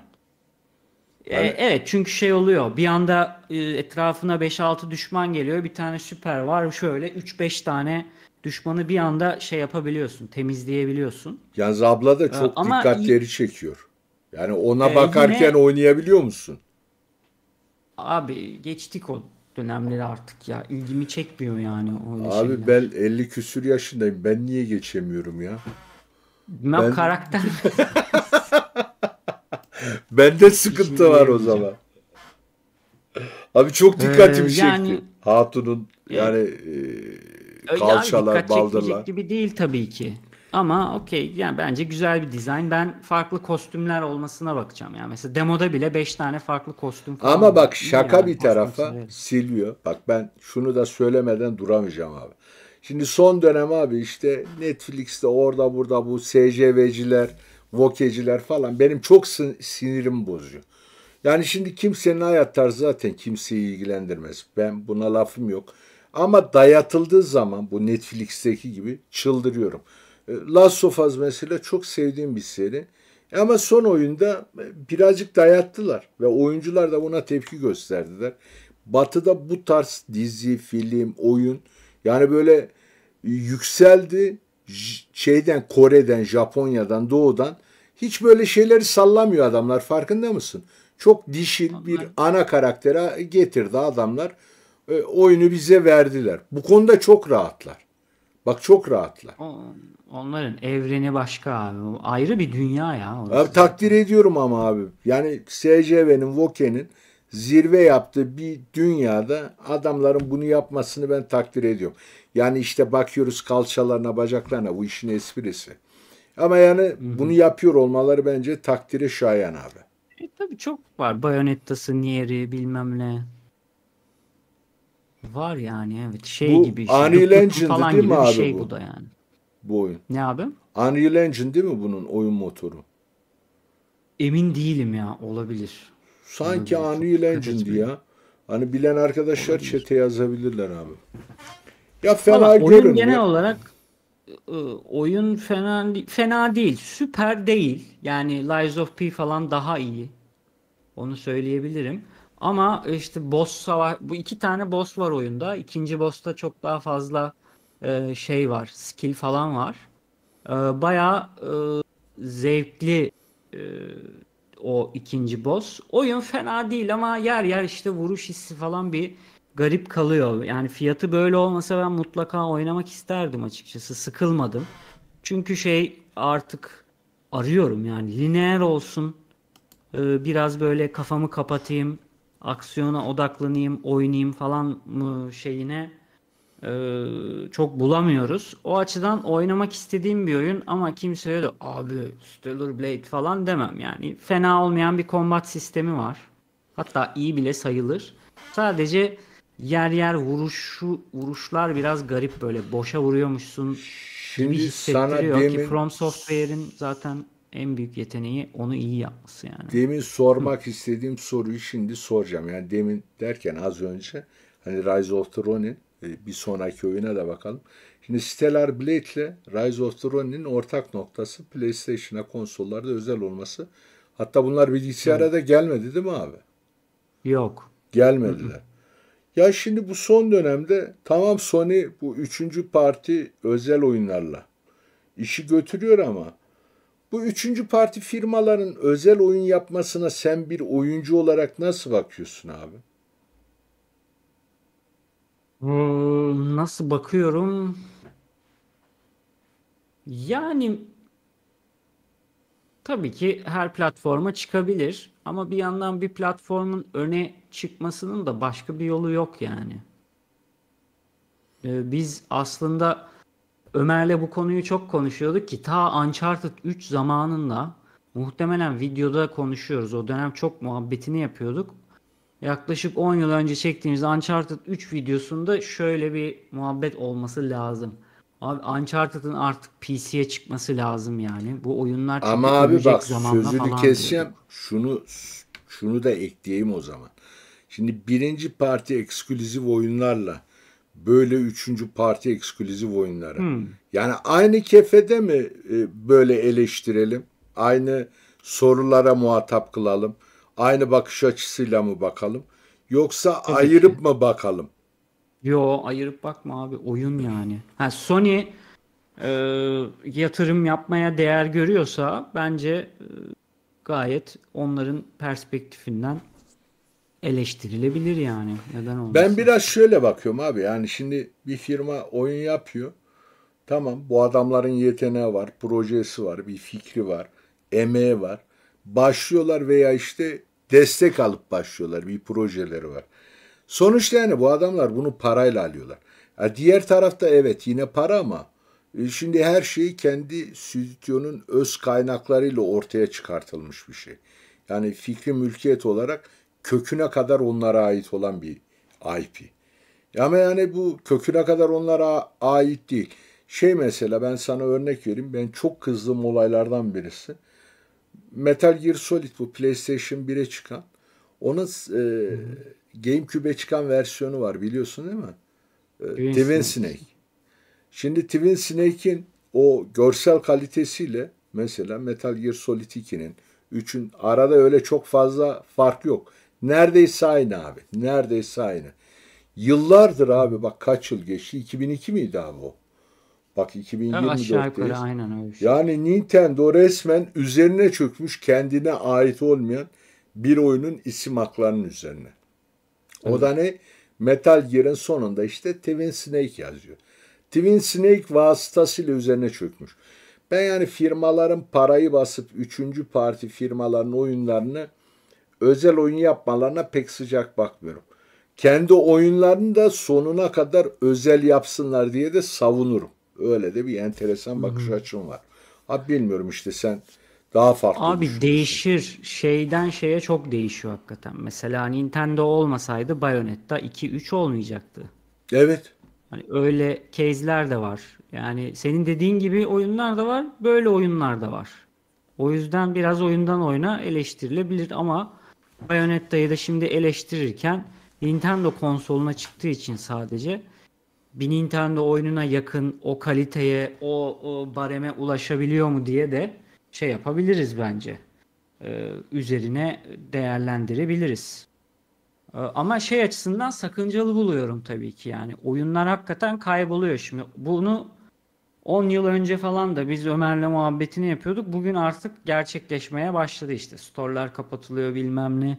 Bir noktada bu oyunları evet o dönem belki konsol satmak için falan kullansan da artık oyun tarihi diye bir şey de oluşmaya başladı yani. O yüzden bu oyunları saklamamak lazım yani. Hakikaten herkese açmak lazım. Ee, Şimdi tarihi açıdan diyorsan kesinlikle eksklusif bir şey olmamalı yani. Ama sonuçta o dönemlerin e, böyle kızgın olduğu, alevlerin yandığı dönemlerde konsolların yeni çıktığı, orada da sattırmak için e, daha satacağını düşündüğü oyuna yatırım yapabilir gibi geliyor. Ya bu bu- business hamlesi pat- maalesef kapitalizm Patent yani. işiyle ilgili birazcık da felsefik bir tartışma bence. Evet. Yani- Ya yok abi öyle dersek ben sevmiyorum. Çünkü şu an No One Lives Forever var mesela. Çok sevdiğim bir Yok FPS abi hiçbir oyunu. yerde lanet olsun Onun ya. şeyini yapamıyorlar. Çıldırıyorum Ee, abi. Remake, e, remaster'ını yapamıyorlar. Abi Night erişemiyorsun çok da bir iyi yerde. Nereden Evet, evet. alacaksın oynayacaksın ya? Bak GOG'da yok. Steam'de yok. Yok. Epic'te yok. İsim EA'de hakları yok. Çok Ubisoft'ta yok. fena abi. 3-4 farklı yerde o oyunun. Ya çok da İsim manyak tatlı bir oyundu. Ya şunun çok bir severim. remaster'ı bile gider ha bak. Ciddi söylüyorum. Yok. Abi zaten Night Dive'ı biliyor musun? Hangisi abi? Night Dive, Night Dive Studios diye bir şirket var. Evet abi. Bilmiyorum. Anlat nedir olay? Ee, bu adamlar abi eski oyunların e, remasterlarını yapıyorlar. Remake değil, remaster. Alıyor işte 90'lardaki FPS oyunlarını Evet. falan modern sistemlere uyarlıyorlar. Grafiklerini de bir cila alıyorlar. Sonra piyasaya sürüyorlar. İşte bu adamlar e, son System Shock remake'ini onlar yaptı mesela. Bunun dışında Turok 1 2 3'ü remaster ettiler. Geçtiğimiz günlerde Dark Forces'ın remaster'ı çıktı. Onlar yaptı. Şimdi 3DO konsoluna çıkan neredeyse kimsenin oynamadığı PO diye dandik bir FPS oyunu var. Sırf eğlencesine adamlar onun remake'ini yapacak, remaster'ını yapacaklar ve bunu 1 Nisan'da duyurdular insanlar şaka sansın diye. Ama gerçekten yapıyorlar. Blade Runner'ın Adventure oyununun remaster'ını yaptılar. Bu adamlar oyun tarihine de önem veren firmalar. Ve Turok 3'ü falan bütün ışıklandırmaları yeniden yaparak remaster ettiler. Power Slave diye çok iyi bir FPS oyunu vardı. Farklı konsollarda farklı versiyonları vardı o oyunun mesela. O versiyonları birleştirdikleri özel bir versiyonu remas- remaster yaptılar mesela. Ee, Böyle çok güzel remaster projeleri yapıyor adamlar. Gözlerini No One Lives Forever'a dikmiş vaziyetteler çok uzun süredir. Keşke kurtarabilseler ya. Gamescom'da. Diyorlar ki bir taraf Fox'ta, bir taraf orada, bir taraf burada. Çözebileceğimizi düşünüyoruz ama 7 yıldır ilerleyemedik ama galiba bir şeyler çözeceğiz gibi duruyor Keşke falan ya. diyorlar yani. Keşke. Ee, Ya Night Dive'ı mutlaka arkadaşlar bakın. Sen de bak abi. Eminim çok seveceğin şeyleri duydum ediyorlardır. enteresan. Kıymetli bir şirket yani. Turoklardan haberim var bak. Turokların remasterlarından falan. Evet, Ama aynen. yani Night o Dive onlar stüdyo işte. özelinde yani onların böyle işlere bakan bir stüdyo olduğunu ben bilmiyordum. E, sayende Aynen. ondan da haberimiz olmuş oldu. Güzel oldu yani bizi İnşallah takip eden arkadaşlar da. Forever'ı Bak No İnşallah One, No One Lives no One, Forever'ı da no One Live Forever'ı bizim chatte var ya yarısı bilir abi. Yarısı bilir. Onun geçen de bir muhabbeti olduydu. Taş gibi de oyundu ya. Hatun da taş gibiydi İyi yalnız ya. ha. çok iyiydi çok iyi. Öyle bir konsept de yok oyun dünyasında. O da üzücü. Çok iyi bir dönem yani. Böyle 70'ler psikodelik ajan hikayesi yok yani. Bir de FPS abi. Yani James Evet, Bond'sun FPS. Hani Tabii, tabii. GoldenEye'ın üzerine eklemiş oyun bence. Değil mi? Hem de ne? İlk bölümü bile mükemmel abi oyunun. Şimdi GoldenEye oynuyorsun abi. 98'di değil mi GoldenEye? 98 Efs- 99 ama bu efsaneydi 2001. o da. O da efsaneydi. Tabii tabii. E, abi bu oyun çıktı. Aa, bu da çok iyi. Abi ikidir atomlardan gidiyoruz diyorsun da yani şimdi gündem o abi yapacak bir şey yok. Yani hatta No One Lives Forever da girdi. Gerçi Stellar Blade değil ama neyse. Evet abi e, sıradaki oyunumuz Alone in the Dark abi.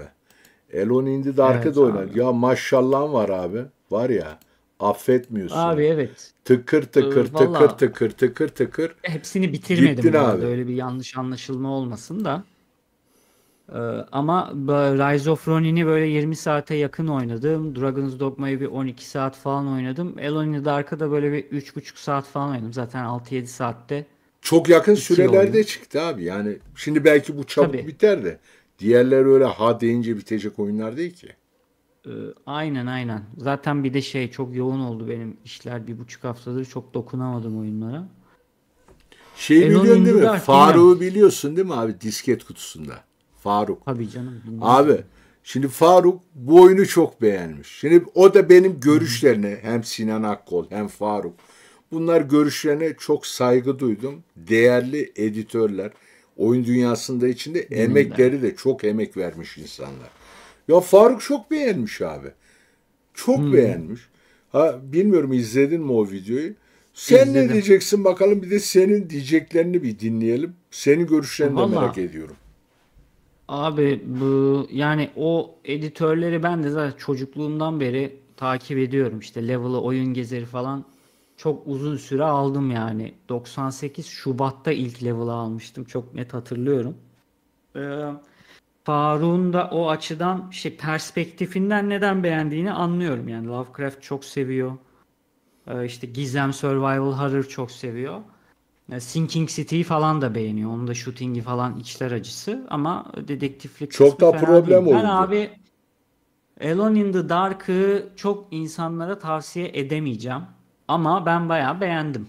Böyle söyleyebilirim. Niye tavsiye edemeyeceğim? Çünkü oyun bence daha bitmemiş ya. Yani ee, konsollarda böyle PC tarafını bilmiyorum. Çünkü hem birkaç editörden böyle bir şey duymadım hem e, Faruk'tan da duymadım. Abi aksiyona girdiğimiz zaman ateş ettiğimde yani ilk hamleyi yaptığımda bu ateş etme olabilir. Meleğiyle vurma olabilir. Ses bayağı bir buçuk saniye falan geç geliyor. Ve bu aşırı baltalıyor atmosferi. Ve her kombatta bu tekrar yaşanıyor. Yani bir kombata giriyorsun, ateş ettin, ses geç geldi, 2 dakika çatıştın, 5 dakika yürüdükten sonra bir düşman daha çıkıyor. Ona ateş ettiğinde ses yine geç geliyor. Yani ben bunu 3-3,5 saatlik oyun süresi boyunca her çatışmada e, yaşadım. Aşırı düşürdü beni yani. Atmosferine girmek için çok zorla, zorladım kendimi ama ister istemez çıkartıyor. Ha bundan dolayı biraz aklımı çok daha az dağıttı. Oyunun çatışma ve dedektiflik kısımları bayağı bıçak gibi ikiye ayrılmış vaziyette. Ee, noir havayı bayağı iyi veriyor oyun. Yani bir malikanede geçiyor. Burası bir huzur evi gibi bir şey. Ee, ama sadece yaşlılar yok. Gerçekten biri kafa dinlemeye de geliyor. Bir tane alkolik oraya kendini götürüyor. Kimisi yazar işte fikir bulamıyor. Ben oraya gideyim kafamı dinleyeyim diyor falan. Atmosfer çok iyi ve bir caz müzik ağırlığı falan da var. Onlar da çok güzel. O açıdan bazıları L.A. Noir'a benzetmiş. Ben de özellikle ses tasarımı konusundan, müzik ve ses efektleri konusunda o kırklar şeyini çok hissediyorum dokunuşunu. O açıdan çok beğendim. Bir de ben Survival Horror'daki mekanı keşfetme e, olayını çok severim. Anahtarı buldum, üst kattaki kapalı kapıyı açtım, işte bulmacanın parçasını buldum, orada gittim, kullandım. Onu gayet iyi yapıyor oyun. E, Eksikleri tabii ki var. Teknik olarak çok eksiği var. Bir kere oyunda böyle bir hikaye gereği bir portallardan geçtiğin durumlar var. Yani kapıyı bir açıyorsun bambaşka bir yere geçmiş oluyorsun. Evil Within'deki gibi biraz. Her mekan değişiminde abi oyun bayağı bildiğin bir saniye, bir buçuk saniye takılıyor. O da bayağı bir bozuyor yani. Bu arada sen bunu hangi platformda oynadın abi? Xbox'ta oynuyorum. Xbox oynuyorsun. Ya aslında bilgisayarda oynayan arkadaşlara da bir sormak lazım ya. Onlar da acaba benzer sorunları yaşamışlar mı? Takılma var. Silah e, ses olayını sadece e, konsolda oynayanlarda okudum. Sen yani. şeyi PC'de hatırlıyor musun ama abi? bu oluyor görmedim. 7. nesle çıkan bir Alone in the Dark vardı erken dönemlerde. 2007-2008 olabilir. Evet. O da sanki biraz problemliydi böyle. O da berbattı canım. Onu hatta bir daha çıkardılar sonra toparlayıp. Ya bu Alone in the Dark'ın var ya cidden yani makus kaderi mi nedir yani bu son iki oyun. Bilemedim ya. Ya, Üzülüyor yazık. yani bu seriyi sevenler. Bir de bu oyunun ertelenmiş hali abi. Geçen Evet, sene Kasım'da sonlarında çıkacaktı. Kasım'da Alan Wake çıkacak. döneminde falan çıkacaktı. İyi ki çıkmamış. Bir de Alan Wake'den bir hafta sonra oynasam ben bunu beğenmezdim mesela. Keşke biraz daha ertese, erteleselermiş ya. Bütçe yetmiyor demek ya. Başka bir açıklaması yok. Paralarını artık çıkarmaları gerekiyorlar. Daha fazla verecek paraları yok ve çıkartmak durumunda kaldılar. Sanki ilk bu PlayStation'da ön siparişi açıldığında 400 liranın altındaydı fiyatı. Yanlış Tabii hatırlamıyorsam. ben o fiyata aldım. Yoksa bugün İyiydi fiyatı. Bayağı iyiydi abi. Ee, direkt o fiyata pre-order ettim. Yoksa bir buçuk falan vermem hayatta. Ee, yani Survival Horror sevenler için çok güzel oyun. Çünkü mekan çok iyi abi. Mekan bayağı iyi. Mekanın atmosferi çok iyi. Ee, ama parasız olduğu da o kadar belli ki yani. iki tane oyuncu bulmuşlar. Bunlara face capture yapmışlar. Diğer herkes böyle. Falan yani. Kimsenin yüzünde animasyon falan da yok. Ee, maalesef bütçe e, bu oyunu e, durdurmuş. Umarım şu ses olayı geçer de daha rahat bir şekilde bitiririm. Abi Yani şey şey de görür. önemli ama bak Silvio bak ben şunu söyleyeyim abi. Şimdi projeyi başta planlarken bu projeyi ölçeklendiren adam her kimse tamam bak bunu adam gibi yapacak abi. Yani şimdi senin bütçen belli değil mi abicim? Bütçen belli. Ya oyun yapacaksın, senaryon da belli. Daha bu oyunu yapmaya başlamadan bu senaryoyu kırpabilirsin, kesebilirsin, değiştirebilirsin. Senaryo iyi bu arada. Bayağı iyi senaryo. Hayır ya işte bölüm çıkartma, bölüm ekleme, Tabii. hani bütçeyi ölçeklendirme abi. E, projeyi ölçeklendirme. Adamlar yani bunu yapamamışlar. Abi ben bunu Evet. bunu kabul etmiyorum bak. Az bütçeyle yapılan hatta Kickstarter'da Pillars of Eternity abi Baldur's Gate'in mirasçısı mesela. Taş gibi oyun değil mi? Bak adamlar yapmışlar. Hatta orada hatırlıyorum şu kadar para verirseniz işte bir bölüm daha ekleyeceğiz. Bu kadar para gelirse bir bölüm daha ekleyeceğiz şeklinde Kickstarter'da böyle onların bir sözleri vardı. Ki bekledikleri paranın da çok üstünde paralar toplandı Pillars of Eternity için. Tabii. Adamlar bak ne güzel ölçeklendirdiler. Oyunun ölçeğini, bölümlerini, işte kapsamını, e, ya grafik kalitesinden tut mekaniklerine kadar hepsi zaman isteyen şeyler abi. Elindeki personel sayısı. Bunu ne kadar zamanda yapacaksın? Ona göre bütçe koyuyor adamlar. Gayet de güzel ölçeklendirdiler, yaptılar. Bence abi bu adamlar projeyi yönetememişler. Kötü bir proje. Bak oyunun dedektiflik kısımları iyi, güzel falan filan ama yani çatışma mekanikleri sınıfta kalmış. Yok objektif olarak konuşursam zaten öyle. Ben birazcık e, bir şeyleri sevmeyi de seviyorum yani. O yüzden böyle pozitif konuşuyorum. Ee, Yoksa e, şey değil yani. Çok sorunlu dediğim gibi. Oyun Dur sözünü keseceğim siliyor bak İlhan Yılmaz. Abi bu Base Motel Pro muhabbetini lütfen bize bir anlatır mısın? Bir hemen araya bıçak gibi kesip girelim.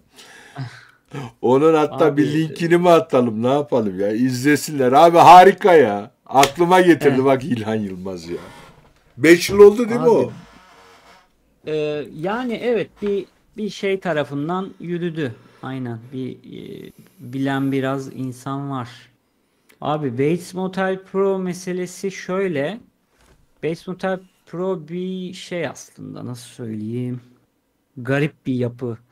E, komik videolar çekmeyle başlayıp zaman içinde reklam ajansına dönüşen bir yapı. Ee, Ben de aşağı yukarı 2009'dan beri bu ekibin içerisindeyim. Biraz daha teknik tarafında yer alıyorum. Hala da beraber çalışıyoruz. Orada çekilen bir sürü video var. Yani bir YouTube kanalı var Bates Motel Pro'nun. Biz bunun dışında e, bir sürü o kanala koymadığımız bildiğin reklam yazıyoruz ve çekiyoruz. Ben bunların biraz daha çekim tarafında, yönetmenliğinde yer alıyorum. Arada kendimiz için de komik videolar çektiğimiz, Çok kendimizin güzeldi ama. oynayıp yazdığı, çizdiği videolar da oluyordu. Ee, sen spesifik olarak benim e, başrolde olduğum Evet, videodan evet. bahsediyorsun. Abi galiba. çete yazdılar o yüzden hemen araya girdim. Yanlış Aynen. anlama. İlhan da- Yılmaz yaz. Ya Arkadaşlar da Ee, seyretsin chat'teki arkadaşlar. Çok tatlı abi. Ee, Ya benim adım Silvio diye bir video çekmiştik zamanında. Volkan yazmıştı onu. Bizim Bates Motel'in e, kreatiflerinden. Ee, ben de çekip oynamıştım. Genelde öyle çok kamera önüne O geçmiyorum ama o yapışkanlı fikir de şeritte komikti. bırakıyordun ya abi hep isimleri falan. Aynen. O dönem şey vardı. Çok iyiydi ya. Şahsiyet Şahsiyet bayağı popüler bir diziydi. Haluk Bilginer'in oynadığı. Şimdi ikinci sezonu çıktı. Biraz onu tiye alan bir şey yapmıştık yani. Onu oradan almıştık. O dizide böyle kadrajlar da asimetrikti falan. Onur Saylak öyle şeyler yapmıştı. Biraz Mr. Robot'tan çakmışlardı. Biz de dedik ki onları da biraz taklit edelim. Böyle abidik gubidik kadrajlar yapalım falan diye. Onunla beraber o dönemin popüler konularından birini de baz alarak böyle bir şeye gittik. Bir de beni yorumlarda hep Barış Özcan'a da benzetiyorlardı. Hala da benzetiyorlar zaten. Bir ama abi. espriler, e, evet tabii canım bir sürü e, videolardan biri aslında. Böyle bir Neyse şey. izlesinler yani. Şimdi e, hoştu. İlhan Yılmaz araya girince ben de Alone in the Dark muhabbetini kestim ama iyi oldu bence. Yani son tahlilde Alone in the Dark abi. Evet ya abi bu bahsettiğin konu çok önemli bir konu. Evet ben senin kadar sert olamayacağım ama objektif olarak baktığımızda sana yüzde yüz hak veriyorum. Ee, Ama zaten şu an oyun sektörünü öldüren şey şu an senin bahsettiğin konu. Bu durum AAA oyunlar için de çok geçerli. Patır kütür iptal edilen oyunlar, 6-7 sene yapımı süren oyunlar, işte 10-15 milyon satıp "E, biz memnun olmadık diyen yapımcılar bunların hepsi kötü organizasyon, organize olmayı bilmeyen, bütçe kontrolünü bilmeyen, ekip pipeline'larını kontrol etmeyi bilmeyen adam. yöneticilerin eee, sonucu yani. Biz de eee, reklam film sektöründe çok büyük ekiplerle bir sürü eee, projeler yapıyoruz ve ekip yönetimiyle ilgili aşağı yukarı bir fikrim var yani. Eee, ve gerçekten ipin ucu bir yerde kaçarsa bir de bunlar çok uzun soluklu projeler. Eee, yani atıyorum 5 yıl sürmesi beklenen bir şey 3 yıl sonra raydan çıkarsa o kalan 2 yıl 3-4 yıla da çıkar sonunda iptal de edilir proje. Skull and Bones'a da dönebilir yani. Abi başta Ve en projeni sorun şu an yapacaksın. yönetim sıkıntısı. Abi Ee, planını zaten. yapacaksın. Stick to plan abi. Ben ben bunu bilirim, Öyle bunu söylerim. abi. Abi öyle Bu olacak işin- yani. Yapanlar yapıyor bir abi. parçası bu işin bir parçası sorunlarla uğraşmak. Onu yapanlar aslında sorun çözmeyi iyi bilen adamlar. Yani sorunsuz iş zaten yok. Ama e, bu tür işlerde hakikaten şey öngöremediğin o kadar çok sorun çıkabiliyor ki sürekli şey yapman gerekiyor. Senin Abi sağlam investör bulacaksın çözüm. o zaman. Yatırımcın çok sağlam Öyle. olacak. Öyle. Yani baş, Ben yani the Dark'ın buna rağmen biraz patchlerle toparlanırsa bir şeyi olabileceğini düşünüyorum. Sevilip birazcık satılabilip devamının gelebilecek bir şey olduğunu Abi düşünüyorum inşallah ama düzel. Olur mu bilmiyorum. Bu arada acımasız Göreceğiz. değilim abi. Oyuna karşı ilgim var. Sadece şunu söylüyorum. Yani kızıyorum. Kızgınlığımın Haklısın sebebi zaten, de. Alone in the Dark gibi e, bir markanın abi. Yani bu çok acemice bir hata abi. Gerçekten. bak. Acemiler ama abi belli ki. Yani Ama bu kadar e, olmaması lazım abi ya. Bilmiyorum. Evet ama burada bence kızılacak biri varsa Bungie'ye kızalım. Bunlara kızmayalım yani anladın mı? Öyle firmalara kızmak lazım. Yani Abi son tahlilde bekleyin, bekleyin, oynayın diyorsun. Abi indirime e, geçince e, güzel bir sör- yani survival horror seviyorsanız özellikle oynayın. Silvio E, bir keseceğim de abi şey durumu da tekrar. var. Benim Özür dilerim abi. Tekrar keseceğim. Yakup sordu sen söyledin ama kaynamasın. Arkadaşlar şimdi burada açıklamalar kısmı var. Daha fazlaya basıyorsunuz abi orada e, Silvio'nun kanalı. Orada hemen linki var. Buradan abone oluyorsunuz abi. Behmo olarak da aratabilirsiniz. Behmo. Hani hatta ben kopyalayayım şuraya chat'e koyalım ya. Olur abi. Koyalım. Buradan chatten de ben paylaşayım abi şunu. Bu şekilde e, Silvio'nun kanalını destekleyin abi. Çok güzel içerikler var. Güncel oyunları da takip etmeyi seviyorsanız Silvio'nun kanalından takip edersiniz. Yani öyle e, şimdi bir sürü canlı yayın yapan adam var. Ama yani Silvio gibi bir adamın oynadığı oyunu seyretmekle o bir sürü insanın yani herhangi birini seyretmek aynı şey değil abi. Aynı şey Sağ değil. ol. Evet, şiddetle tavsiye ederim. Yani YouTube'un da eskilerinden bu adam. Bakmayın yani zamanda falan bilmiyorum haberiniz olmasa da ara vermiş olsalar da bence çok değerli bir arkadaş. Şiddetle ama şiddetle tavsiye ederim abi. Güzel kanal, içerikler güzel, muhabbet güzel. Dolu da adam abi yani. Her şey var adamda yani. Her parmağında bir şey abi marifet. Sağ ol. ederim. Game kanal kaç verirsin demiş. Evet. Ya, çok not veren bir adam değilim de 6.5-7 veririm herhalde. Türü 6.5 seviyorsan aslında hak ettiği diyor. teknik şeylerden ama janranın bir hayranı olarak 7 diyorum. Türü Ama seven e, oynar. gerçekten evet şey olsam eleştirel gözle baksam 5 verilir yani bu oyuna. Evet Onu abi. e, son oyunumuza da geçelim istiyorsan. Ha? Son Tabii, oyunumuzda aslında eski bir dost değil mi abi? Hı hı, aynen. Evet. Evet. Outcast A New Beginning abi. Evet, Outcast'i de oynadım bayağı. Şimdi benim takipçilerimden Stranger Moon da herhalde. Çok ısrar etti. Abi demosunu indir. Bak indirdim demoyu ama vallahi oynayacak fırsatım olmadı. E, sen oynamışsın abi. Oyunu da almışsın. Bir senin Evet abi, beni görüşlerini bir aldıran- dinleyelim. Beni aldıran demosu oldu bu arada oyunun. Onu da söyleyeyim. Next Fest'te çıkmıştı demosu. Steam Next Fest'te. Ee, oynamayı düşünmüyordum ama almayı hiç düşünmüyordum. Ya bakayım dedim nasıl diye. Demoyu açtım direkt. İşte e, açık dünya bölümü, combat bölümü, bir de dolanma bölümü, quest bölümü mü ne vardı? Ben direkt combat'ına atladım. Ee, combat'ı bayağı güzel abi oyunun. Ee, yani hatta çok şaşırdım. Yani trailerlarını izlerken çünkü bayağı güzel şeyler gösteriyordu. Uçan kaçan şeyler gösteriyordu. İşte kanatlanıyor, iniyor. E, milleti tarıyor sonra bir anda havaya zıplıyor. Jetpack'le böyle biraz son dönemde gördüğümüz Suicide Squad'daki gibi Suyun havada altında süzülüp falan. ateş ediyor falan. Ee, ve bunları e, genelde gösterirler trailer'da da ne oyun iyi çalışır, ne mekanikler iyi olur, kontroller de berbat olur. Hiçbir şeye de benzemez sonra. Trailer anca böyle şaşalı bir şey olarak kalır. Bu oyunun ama hakikaten kombatı bayağı iyi olmuş. Ee, şey sıkıntısı var. Bir e, konuya aşık olmuş adamlar. Ama oyunun konusu kötü. Yani bir Avatar gibi bir hikayesi var. Tabii ki Outcast Avatar'dan çok daha önce 98-99 oyunu bu. Ee, ama e, o konuyu birazcık kenara bırakmak lazım. Bu da zaten AA bir oyun, AAA bir oyun değil. Biraz daha kafamı boşaltayım, gideyim iyi bir aksiyonla milleti tarayayım, uçayım kaçayım derseniz hakikaten e, şey vibe'ı verdi bana yani yani birazcık Mass Effect vibe'ı da verdi. Özellikle Abi çatışmalarda üst Mass Effect yönetimi 2 falan filan da çok var, değil mi bunda? Ne? Üstünü üstünü falan yönetiyorsun, geliştiriyorsun binaları falan.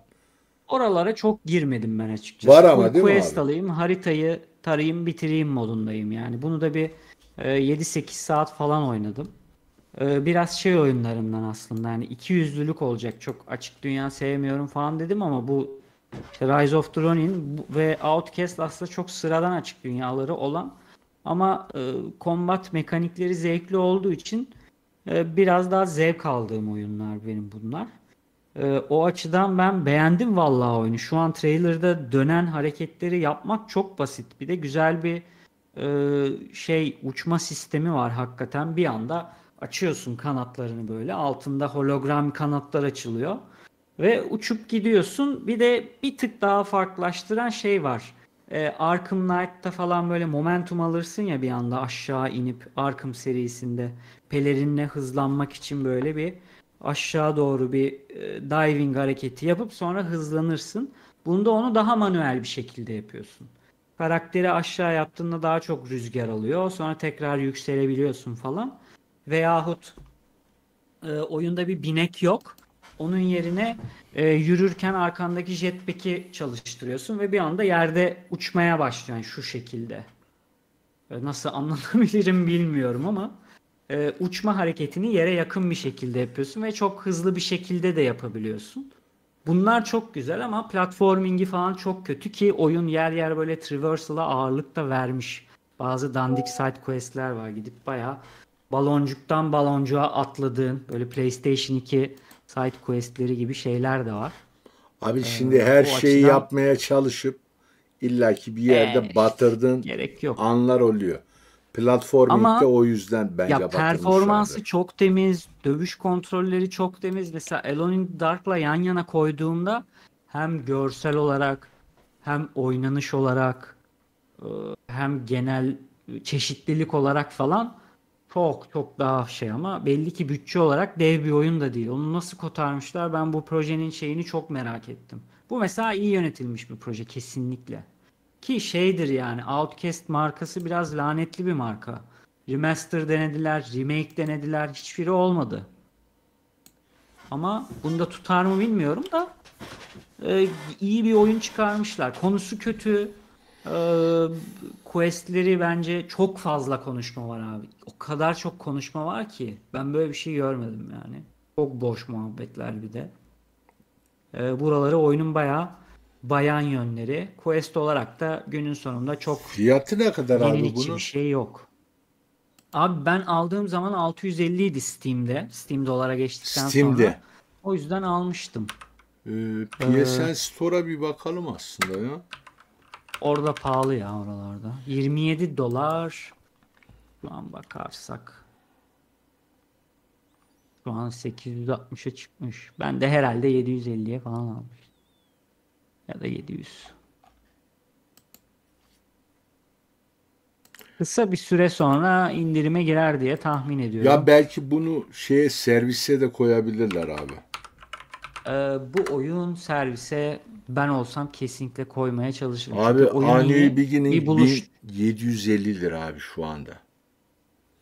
Ee, işte konsolda ben de o yüzden zaten PC'de aldım. Fiyatına bir baktım 650 falandı yani. Şu Abi an 650 de 850 aslında da. çok para değil ya. Şey Ee, mesela o gün direkt almıştım Second zaten. Contact abi 1250 lira bak. Bu bilgisayardaki Abi zaten şey, ben bu oyunu ıı, ya oyun yeni çıktı ama çıkışından 4 ay önce falan 3 ay önce pre-order ettim. Yo 3 ay değil 1 ay önce pre-order ettim. O yüzden daha makuldü. Herhalde bilgisayarda 29 falan oynanabilir dolar abi. yani. Oynanabilir bilgisayarda. Şimdi konuşacağımız onlar oyunlar bunlar da abi. Şimdi bir de bu haftanın bir gündemi vardı. Yani o gündeme bu gündeme konu olan şahsın kişiliğinde veya onun merkezde olduğu böyle ona odaklandığımız bir e, modda değil de o tartışmanın özünde abi. Benim konuşmak istediğim e, hatta yayından önce de söyledim bunu da konuşalım mı diye. Hani şimdi konsollar çıkalı bir 3 yıl oldu abi. Yani 2020. E, bence dönemine göre de güzel konsollardı bunlar. Fakat bilgisayar bayağı bir aldı yürüdü abi şu anda. Ki daha gelecek yeni Çok donanımlarla aklıma- falan. Ama bu hep böyleydi abi. Yeni bir şey değil ki PlayStation 2 döneminden beri böyle yani. İlk defa mı böyle oldu? Şimdi abi konsolda mı oyun oynanır, bilgisayarda mı oynanır? Ama bunu şöyle e, iki aşamalı bence konuşalım. Yani teknik açıdan bir konuşuruz. Bir de işte fiyatlar açısından konuşabiliriz. Yapabileceklerin açısından konuşuruz. Yani Fiyat teknik anlamda ne dersin abi? özgü. Abi yani ben aslında e, sorduğun anlamda değil de başka bir anlamda cevap vermek istiyorum. Abi istediğin gibi söyleyebilirsin. Abi biz şimdi bilgisayarla büyüyen bir nesiliz ve neredeyse uyku dışında full bilgisayar başındaydık. Film izleme, dizi izleme, oyun oynama, kitap okuma, haber okuma, Hala öyleyiz abi. Evet. işte ben öyle değilim. Ben çok sıkıldım bundan. Bilgisayar başında oyun oynarken falan sıkılıyorum artık. O yüzden e, ben büyük ekranda, televizyonda oturup yaslanıp oynamak Ama bunu istiyorum. bilgisayarda yapabiliyorsun abi. Sıkıntı yok. Abi yok ya. Şimdi ben bu bilgisayarı gidip e, 4K televizyona bağlasam benim işlemcimi i7 bilmem ne bilmem ne yapmam gerekecek. Oyunları hayda oynayamayacağım. Ben 2K monitör aldım ki 4K'ya Aslında var ya bak Tadında olsun. Silvio tam tersini söyledin ha. Çözünürlüğü yükselttiğin zaman işlemciyle olan e, işin azalıyor. Ekran kartına yük biniyor. Ya Çözünürlüğü düşürdüğünde işlemci daha önemli oluyor. Yani düşük çözünürlükte işlemci darboğaz yapar. Yüksek çözünürlükte ekran kartı yetmez gibi. Yani e, Nasıl? kontrolörün var abi. Bağla bence bir dene. Yani Nasıl oda setup'ın abi salona? işte oda setup'ı önemli abi. Yani odayı nasıl ayarlayacaksın? Benim şimdi bak bir monitör işte böyle. sinema. Bir monitör karşımda, televizyon hemen yanımda. Bilgisayar PlayStation yan yana, PlayStation 3 orada, Switch burada abi. Yani böyle bir setup yapman lazım. Türkiye'de Odan- kaç kişi yapabilir abi? ya işte oda Çok lazım kolay abi buna. değil yani. Oda lazım buna. O da lazım aynen. Ama yani teknik açıdan şimdi bilgisayar şöyle böyle deniliyor da sanki e, nesil nesil abi e, yani dönemleri, eraları konsollardaki oyunların kalitesi neyse grafik olarak bilgisayardaki kaliteyi de o belirliyor. Bilgisayar sadece Tabii, daha fazla çözünürlük, daha fazla FPS, değil mi abi? Daha net böyle. Tabii tabii her zaman öyleydi abi. Her zaman bilgisayarlar daha güçlü oldu ama standartları konsollar belirledi yani. Yani bu nesilde de öyle. Bir şey Öyle. de var abi yani şimdi 4070 Ti'm var. Ne kadar abi şimdi? E, ölüsü 32-33 bin lira. Süperini alayım desen 35-36 bin lira, 37 bin lira. Marka modeline göre. E şimdi bugün abi 20 bin liraya e, Slim'i alabiliyorsun PlayStation 5'i. Tabii abi. da 20 bin liraya Konsol işte olayı o abi. e, X modeli alabiliyorsun. Series X alabiliyorsun. Hatta ya siktir et işte çözünürlüğü falan filan. Abi 13-14 bin liraya sıfır Series S var. Bağla monitöre oyna 1080p monitöre. Ki ben yani PlayStation 3'le hala ayla bayla oyun oynayan bir adamım yani. Bak Game Kanal bizim Series S kullanıyorum bana yetiyor diyor. Ki yetiyordur adamı. Ama çok haksızca bir karşılaştırma ya. Yani 4090'lı bilgisayar, işte PlayStation. Ya herkes biliyor daha fazla Ya çözünürlüğü oyun var. oynamayan birinin yapacağı bir oyun yani. Böyle söyleyeyim. Yani benim de herkese her zaman tavsiyem abi. Nerede e, topluluk, e, sevdiğiniz oyunlar, arkadaşlarınız neredeyse orada abi. Tabii tabii. Ama Aynen. konsolların Yani benim de- sunduğu rahatlığı şeyler de veriyor aga. Bilgisayar da veriyor. Ha dediğim gibi bir setup yaparsan abi verir. Ha ben en fazla Ya bir işte- kabloyu sök tak yapıyorum. Ya salonda öyle oynamak da zevkli oluyor. Ne bileyim. Abi bak şu gördüğün yatak var ya. O yatakta arkamı o bazanın arkasına dayayıp yanıma yastıkları şöyle koyup yani orada bilgisayar oyunu da oynayabilirim. PlayStation 3, Oynarsın PlayStation tabii. 5 oyunu da, Switch oyunu da oynarım. E Veya aklım kesmedi, kafam sarmadı abi. Buraya oturuyorum, ayağımın altında da bir tane abi şey var. Ayağımı uzatacağım bir tane puf var. Ayağımı uzatıyorum, çayımı alıyorum. Ha burada 32 inçte, burada 27 inç monitörde. Ya bazen monitör daha tatlı geliyor bana. Ama oyunlar Olabilir. sanki konsollarda daha keyifli gibi. Hani tak E oyna. abi oyunların oyunların çoğu da zaten kontrolör mantığıyla yapılmıyor mu? O da aslında konsollar yüzünden yani. Abi işte şeyi açtım. Benim canım çok şeyi çekti. Bu Beyond e, e, Good and Evil var. Resident Evil. Hı hı. Hatırladın mı? Tabii tabii. Ya abi şuna bir döneyim, şuna bir döneyim. Böyle çok yani bir daha bir de oynamak istiyorum. Ya taktım abi oyunu diz üstüne kurdum. Ya Türkçe yama falan da var. İngilizcem öyle uçar kaçar bir İngilizce değil. Abi controller sağ analog var ya. Abi dokunuyorsun kamera Jade'in etrafında helikopter pervanesi gibi dönüyor abi. Ya çıldırdım. O dönemler optimize etmediler çünkü o dönem oyunları PC'nin en e, karanlık dönemi zaten PlayStation 3 dönemi herhalde. 2 PS2 Bütün oyunu oyunlar o. bozuk çalışıyordu. Vallahi 2-3 işte. PlayStation 2 ve 3 dönemi PC'leri o kadar köşeye attılar ki oyunların hepsi yarım, yarım yamalak. Portlar berbat da hatırlıyorsundur.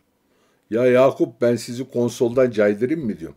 Abi ben 2003'ten beri her zaman e, oyun oynatacak e, güzel bir bilgisayarım oldu. Yani en üst seviyede olmadı işte. Bir gün işte 70 serisi ekran kartları neyse Nvidia'nın o dönemin AMD'si veya işte Nvidia'sı ne varsa onu alıp geçmişimdir. Her zaman evimin altında bir iki tane bilgisayar olur. Şu an evde mesela dört tane bilgisayar var abi. Dört, beş tane var. Ha çocuklarda ben de herkes ayrı. Hatta bir tane de fazlaydı toruna verdim geçtim. Yani bir bilgisayarsız ben yapamıyorum. Ama en çok da konsolda oyun oynuyorum abi. E ben, ben ben bana da öyle geliyor abi yani.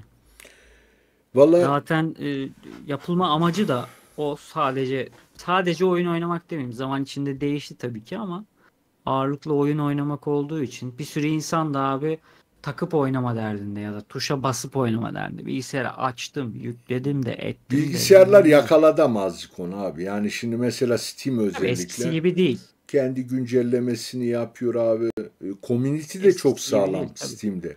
Oyunların kendi e, topluluklarının bir arada olduğu forum sayfaları var abi. E, Yani Tabii tabii. Adam mesela kontrolöre ayar yapmış aga tamam mı? Adam bunu Steam'den paylaşıyor. Adamın kontrolöre yaptığı ayar neyse o map'i indiriyorsun abi. Aynı map'le sen oynuyorsun. İşte 1500 kişi indirmiş. 1000 kişi beğenmiş. Görüyorsun bunu. Abi indir mesela onu dene. İşte şuna göre yaptım, buna göre yaptım. İşte şeyleri var abi. Ee, Atölyesi var. Modlar falan filan bazı oyunlar destekliyor. Steam baya başarılı bu konuda. E tabi ikinci hiçbir bir örneği de yok. Modcu olan biri olmadım ya. Baksam Vanilla haliyle oynuyor değil mi genelde? da. Evet evet yani. O bir de birazcık konsola alışmakla alakalı yani. Ben de genelde vanilla halini tercih ederim abi. Hmm. Vanilla hali daha güzel oluyor. Karşı değilim de Velhasıl abi uğraşmıyorum. bence bilgisayar da olacak adamda. e, Konsol da olacak abi. Oyuncu adam. Ya imkan olursa hepsi olsun tabii ki. Tabii abi. Hani Ben imkanları de zor herhangi birinin hayranı değilim. yani. lazım. Hatta ben yani bilgisayar şöyle soruyor arkadaşlar. Hani dizüstü mü masaüstü mü? İşte mesela benim burada şey duruyor. E, dizüstü bilgisayar. Daha yeni aldım. E, yanımda masaüstü. İkisi de olacak. Cengiz hoş geldin paşam. Selamlar. Yani hepsi bence olmalı ya. imkanlar ölçüsünde. Ozi sen de hoş geldin lan. Geç geldin. Dayaklık adam bunlar ya. Saat kaç olmuş daha yeni geliyorlar abi. Vallahi billahi. Eh, ya çok da güzel muhabbet ettik. Konuşsak bizim var ya çenemiz kapanmayacak ha. Silvio bak sen de sen de abi fırsat verdiler mi dökülüyor. Ben de kendimi tutamıyorum. Vallahi beni tek başıma bıraksam ben hala Rise of the Ronin'le ilgili konuşuyordum muhtemelen. Ama güzel oldu. Daha diğerlerine geçememiştim. Sağ ol abi. Teşekkür Güzel ederim oldu. Başka e, zamanlarda da inşallah yine bir araya geleceğimiz e, Tabii abi, seve videolar, seve. yayınlar olur. Fırsat bulursak geliriz yine bir araya. E, eklemek istediğin oyunlarla ilgili veya herhangi bir oyunlardan bağımsız istediğin herhangi bir konu. Ben tekrar söylüyorum. Abi e, Behmo YouTube kanalımızın adı. Ben tekrar paylaşayım hatta. Abone olmayan arkadaşlar tekrar e, buraya abone olmak için tıklayabilirler. Verdim çünkü linkini. Açıklamalar kısmında da var. Çok nezik, güzel bir kanalı var arkadaşın. Abi bak soru soruyorlar. Korku serisi oynuyor musun diyorlar. Evet. Biraz da sen chat, chat'e bak abi. Chat'ten ne diyorlar? Hep ben sordum. Valla bak bakıyorum ya chat açık aslında. Korku serisi oynuyor musun? Genel olarak korku oyunlarından bahsediyorsan ya seviyorum ama korku oyunu oldukları olduğu için değil ya. Birazcık o şeyi seviyorum işte. Resident Evil'da falan e, bir mekanı keşfetme olayı benim bayağı hoşuma gidiyor. Mesela enteresan bir oyun olarak şey diyebilirim. My Friendly Neighborhood diye bir oyun vardı mesela. Kanalda onu bitirdik. O da şey abi Resident Evil 7 gibi bir oyun düşün. Yapı olarak direkt öyle. Ee, ama konusu şu. Susam Sokağı gibi bir program var. iptal edilmiş.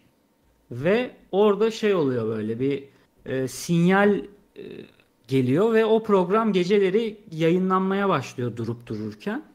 Ve sen de oraya bir tamirci olarak gidip e, sinyalin kaynağını bulmaya çalışıyorsun.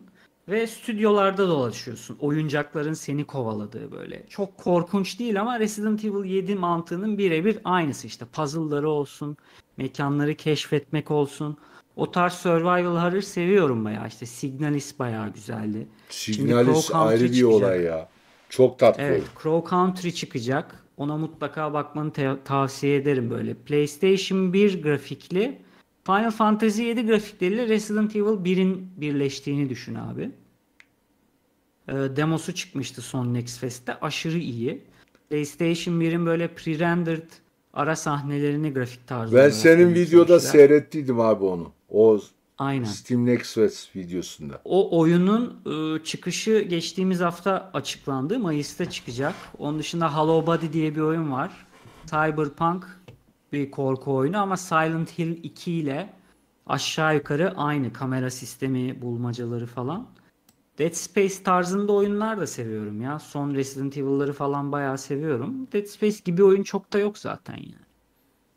Ee, şeylere çok girmiyorum ama aşırı indie korku şey peşinde değilim yani. Ben biraz daha o keşif olayını seviyorum survival horror oyunlarında.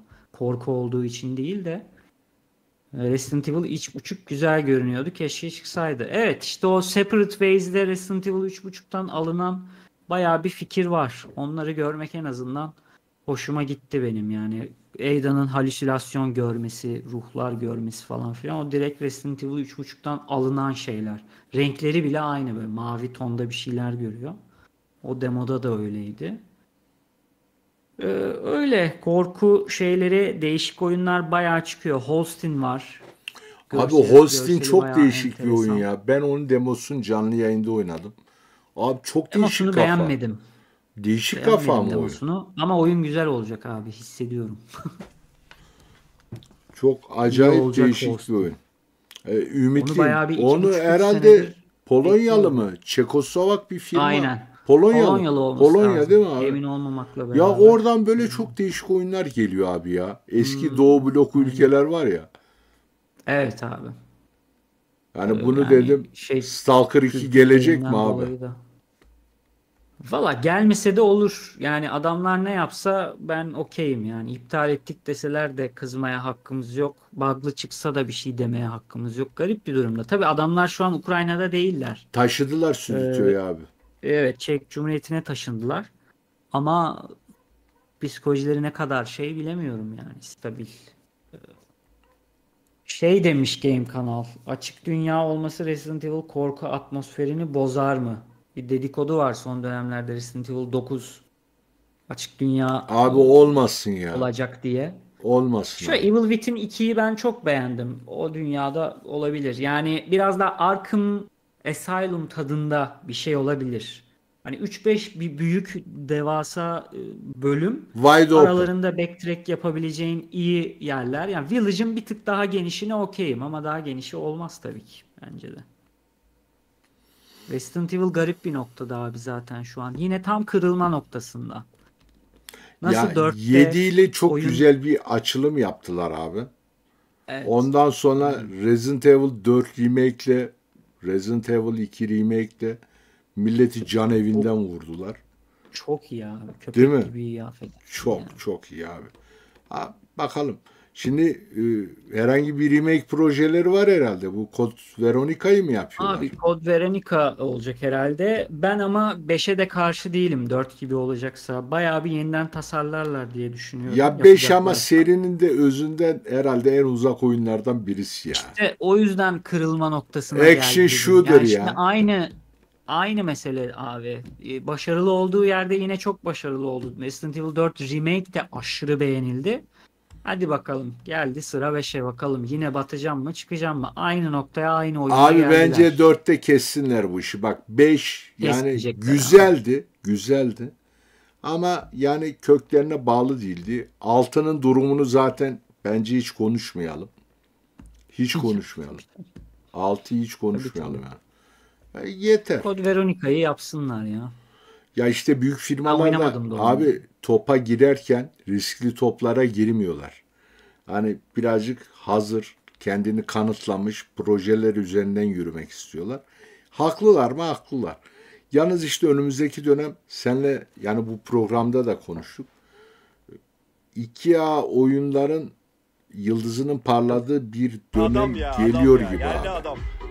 Geliyor gibi. Bence inceden girdik ya. Ben e, çok son bir senede çok memnun kaldığım bir sürü AA oyun oynadım. Ama orada da var ya abi 2A e, oyunları yapan e, stüdyoların üzerinde bu büyük yayıncı firmaların e, böyle Demokles'in kılıcı gibi sal, e, sallanıp abi tamam mı? Şunu da yapın, bunu da yapın. Şu zamanda bu oyun çıksın. İşte korku oyunu yapıyorlar. Abi Dead Space 3. Ya aga buna bir de co-op koysak nasıl olur? Diyecek deniyorlar çıkmasın abi mümkünse. Yani çünkü o zaman e, 2A oyunların ruhuna aykırı bir iş çıkmış oluyor ortaya. Bence 2A olamaz o zaman. Mümkün Abi değil. işte şu an e, çok o lafların söylenmediğini düşündüğüm oyunlar çıkıyor. İşte Banishers falan öyle mesela.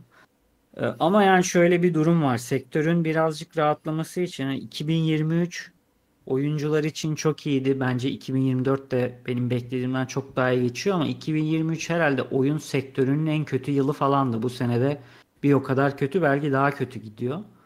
Ama bu bu kadar e, çöküşün ardından ben bir şey olabileceğini tahmin Abi ediyorum. 20 bin kişi işten çıkartıldı Evet, biraz 2023'te. Gereksiz bir yani yanlış bir şey de olabilir ama bu kadar şeyin sonucunda ufak ufak böyle yeni firmaların açıldığını görüyoruz işte. Shinji Mikami, Mikami de mesela. evet yeni Ayrıldı. Microsoft bünyesinden. Kendi şirketini açtı. Onun dışında bir sürü e, böyle yetenekli adam kendi şirketini açmaya başlıyor yeni yeni. Her A- hafta yeni Aga şey de kötü şeyi ama geliyor. bak şey de kötü. Şimdi sektörde ciddi bir konsolidasyon var tamam mı? Yani bakıyorsun abi Microsoft ben söylüyorum züccaciye dükkanına girmiş fil. Onu da al bunu da al onu Öyle da al. abi. Abi bu konsolidasyon yani uzun vadede ya yaratıcılığın önündeki en büyük engellerden birisi abi. En büyük engellerden birisi. Yani biz oyuncu olarak belki şu an belki hoşumuza gidiyor. Küçük stüdyolar işte oyun yapmak için kendilerine Microsoft gibi büyük böyle para babası kaynak buldular diye seviniyoruz ama. hiç kimsenin İş hoşuna öyle değil ki abi. Öyle değil ki Aklı iş. selim olan kimsenin beğeneceği bir şey değil. o. Ya bu konsolidasyon sadece Microsoft tarafında da yok işte. Geçen IKEA gerçi Gearbox aldılar da Gearbox'ı şeyden kurtardılar Embracer'da. Embracer'dan. ha, Onun bakmışsın. elinden kur. Embracer E, Sony de yani. bir şeyler aldı abi.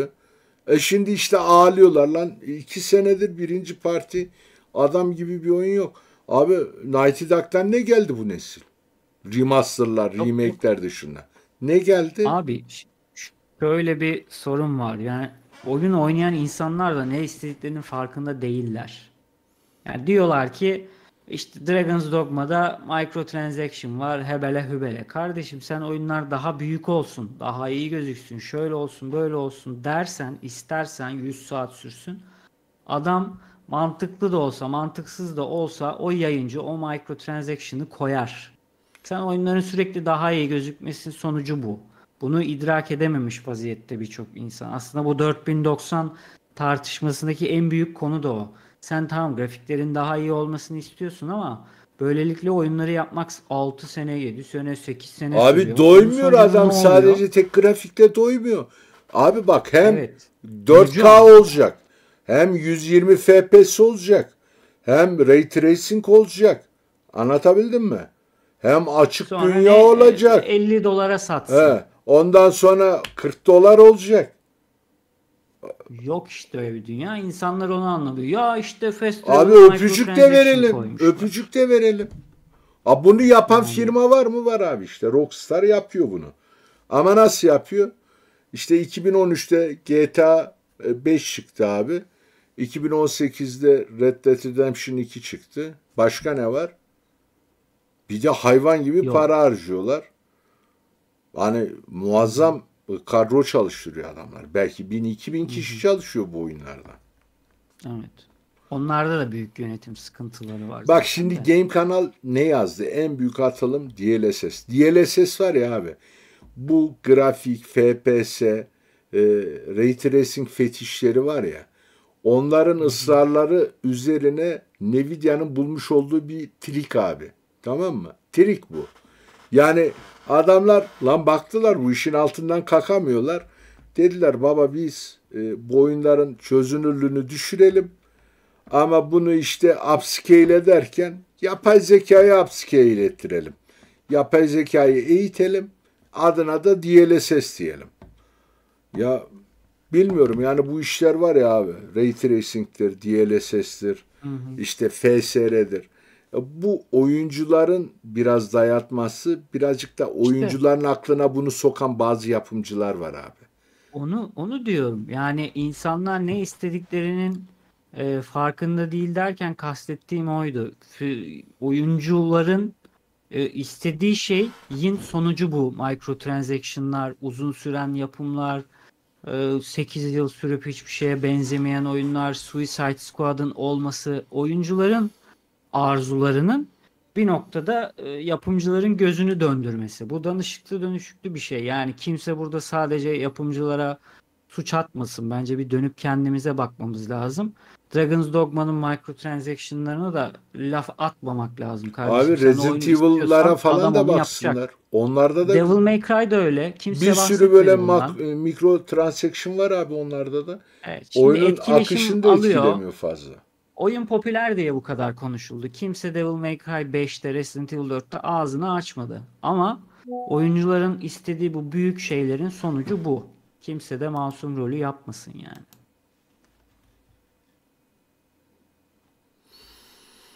Vallahi abi nereye gidiyor bu oyun dünyası, oyuncular? Abi işte bu bu e, oyun firmalarının küçülmesi falan uzun vadede e, bunu yani sektörün yeniden yapılanmasına Abi söyle, ufak söyledim ufak bak bunu ez, önceden öyle. defalarca. Bu 84'teki video game crash var ya. Cidden bak Hı-hı. sektörün bir bağırsaklarını falan boşaltması gerekiyor abi. Tabii tabii. Ciddi bu, diyorum bak. Bu yani bir 15-20 yıl sonra tekrar olur. Çünkü bu ayrılan insanların kurduğu ufak firmalar tekrar büyüyecek, tekrar birileri alacak onları, tekrar para gözü olur. Bu böyle bir şey yani. Bu kapitalizmin aslında bir dönüp dolaşıp aynı yer, yere gelme meselesi. Şu an e, yolların sıkıştığı yerdeyiz. Bir herkes kusuluyor. Arada depresyona girip çıkamayanlar kaybolacak gidecek maalesef. Ya zaten Oradan abi savaş kapıda ticaret savaşı bir şekilde yaşanıyor. Bu da evet, bence evet. firmalar üzerinde bir baskı unsuru, ciddi bir baskı unsuru. Ya mesela bak sen eski firmalar falan filan geldi aklıma. İşte adamlar ayrılıyor, yeni şirketler kuruyor. Ya bu 90'lı e, dönemlerin firmaları falan geliyor aklıma. Sierra'lar falan filan, Interplay'ler. Ya ne firmalar geldi geçti. Demin de bir konuyu konuştuk. Hani bu e, patent haklar. Bu IP diyoruz ya. Şu mesele var abi. Yani patent işi cidden üzerinde e, çok kafa yorulması gereken, felsefik olarak da tartışılması gereken bir şey.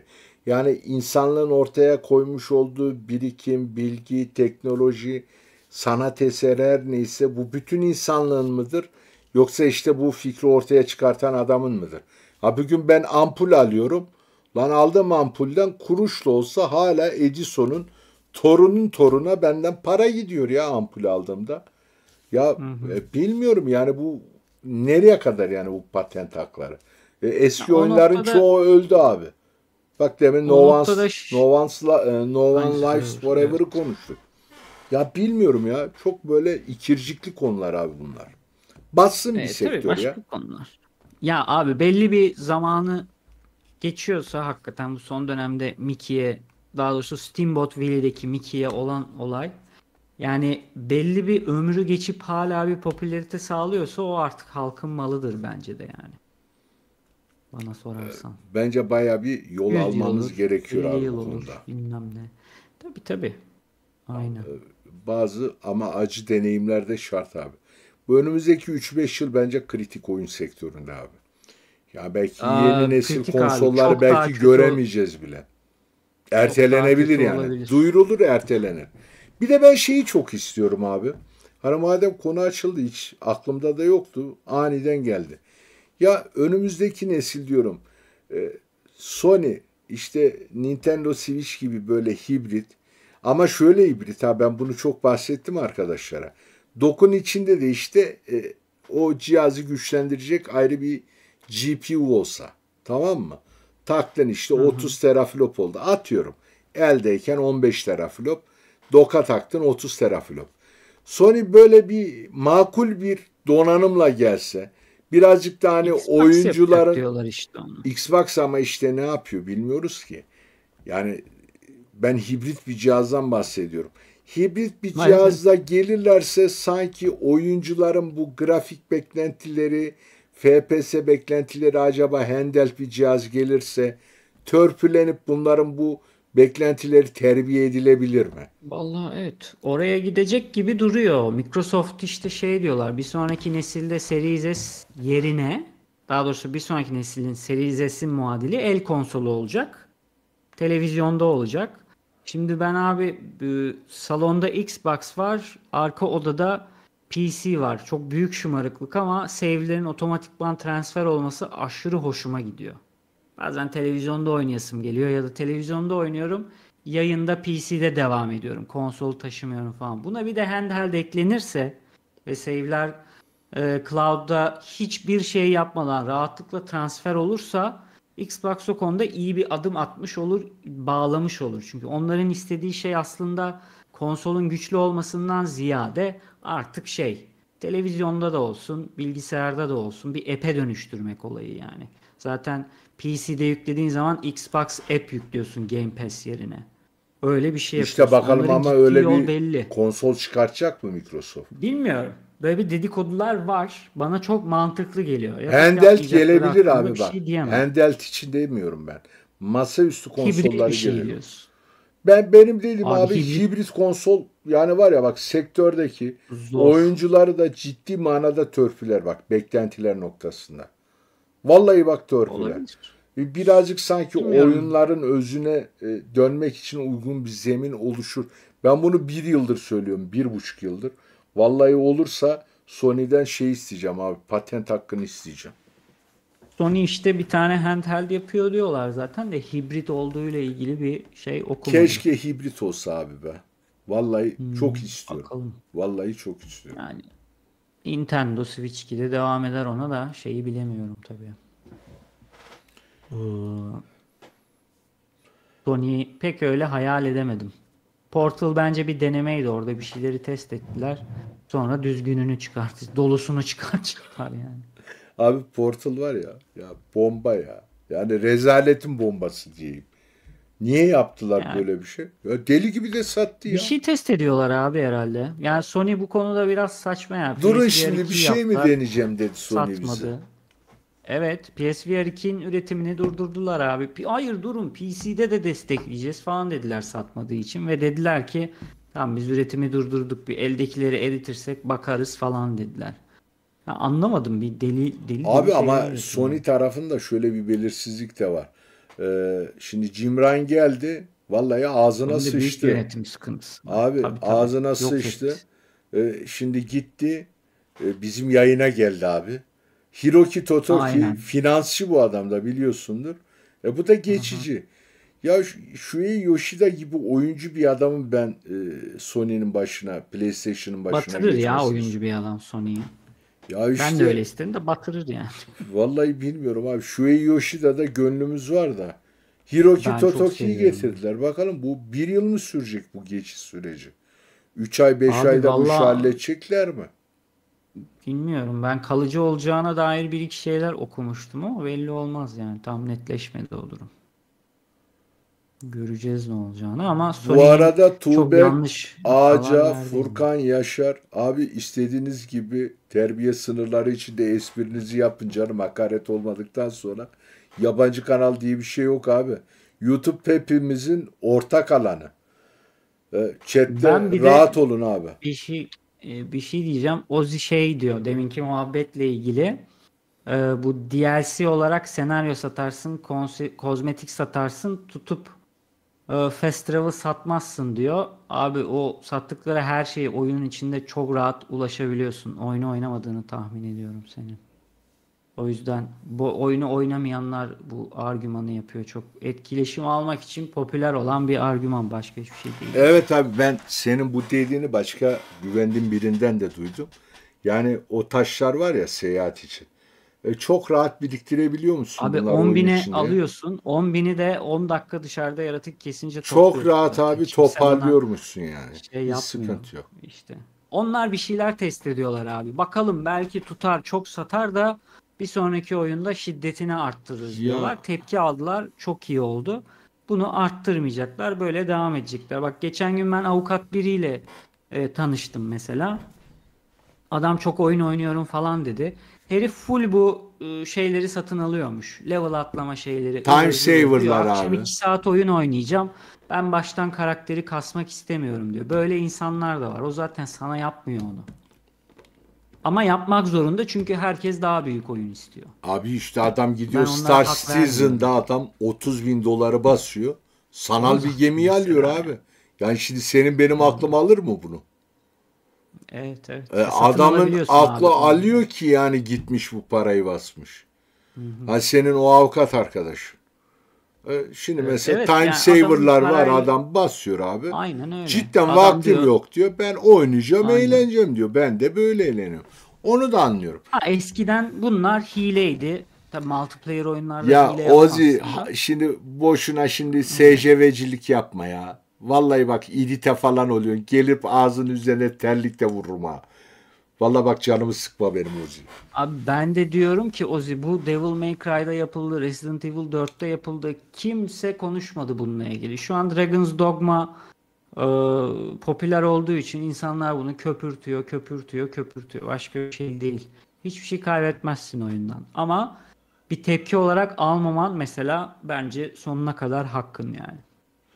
Onunla ilgili bir şey diyemem. Çünkü olur da yanlışlıkla bir gün yarın öbür gün bu festival taşları çok satılırsa o zaman ayvayı yeriz yani. Bak Yakuza'da New Game Plus'ı adamlar parayla sattılar. Ve oyun Abi çok Konami. Save olacak. sattı abi.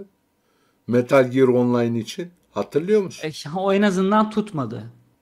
en azından tutmadı o. Yakuza'da şeyi bilmiyorum.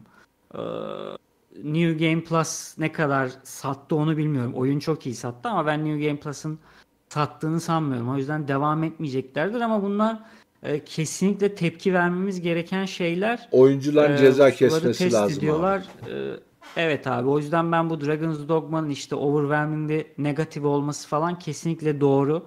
Biraz yanlış amaçlarla oldu yani bana sorarsan. Kimse neyle ilgili tartıştığını fark etmeden bu trene katılıp eleştirdi. Ama en azından doğru fa- farkında olmadan doğru bir şey yaptılar. Capcom hemen oyunda tek karakter yapabiliyordun. New Game bile yapamıyordun oyuna başladığında. Ben save'imi silmiştim. Yayın öncesi bir bakayım demiştim. Ve bütün sinematiklere geçtim. Nasıl çalışıyor diye bakayım dedim. New Game diye bir şey yok abi. Sadece load var.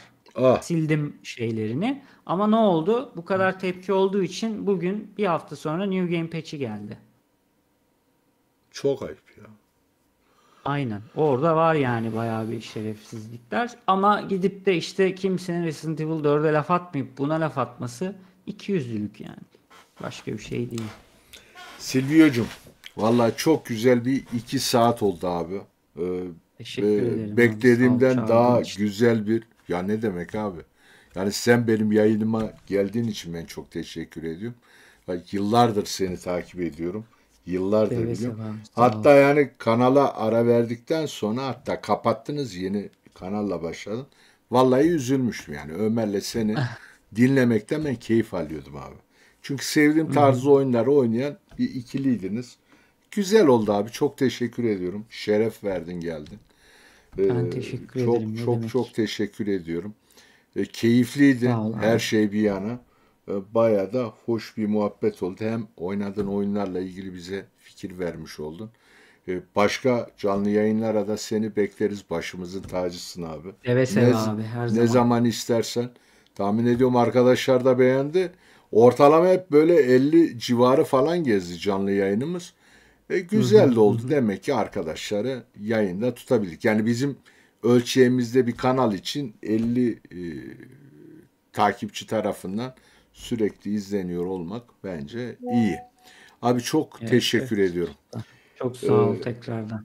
Çok sağ ol. Yayına gelen, katılan bütün arkadaşlara, chatte fikirlerini belirten bütün arkadaşlara ayrıca teşekkür ediyorum. Abi görüşmek üzere. Söylemek istediğin Görüşmek son üzere. şeyler varsa abi buyur. Seni Vallahi ne diyeyim abi teşekkür ederim ya. Benim için de bayağı güzel oldu. Bir de son dönemlerde bu oyunları oynadım da üzerine konuşamamıştım. İşler falan yoğun oldu. Bu hafta hiç yayın açamadım. Böyle bir fırsat verdiğin için de bana ne demek çok çok abi? Ne haddimize fırsat vermek ya? Daha bol bol konuşuyor oluruz. Kanalımıza abone olun. Old Review'a Evet da abi. abone olun. Öyle vallahi. Teşekkür ediyorum abi. Abi Evet. herkese iyi akşamlar. Görüşmek üzere gençler. Yayını artık Görüşmek burada üzere. sonlandırıyoruz abi. Güle güle.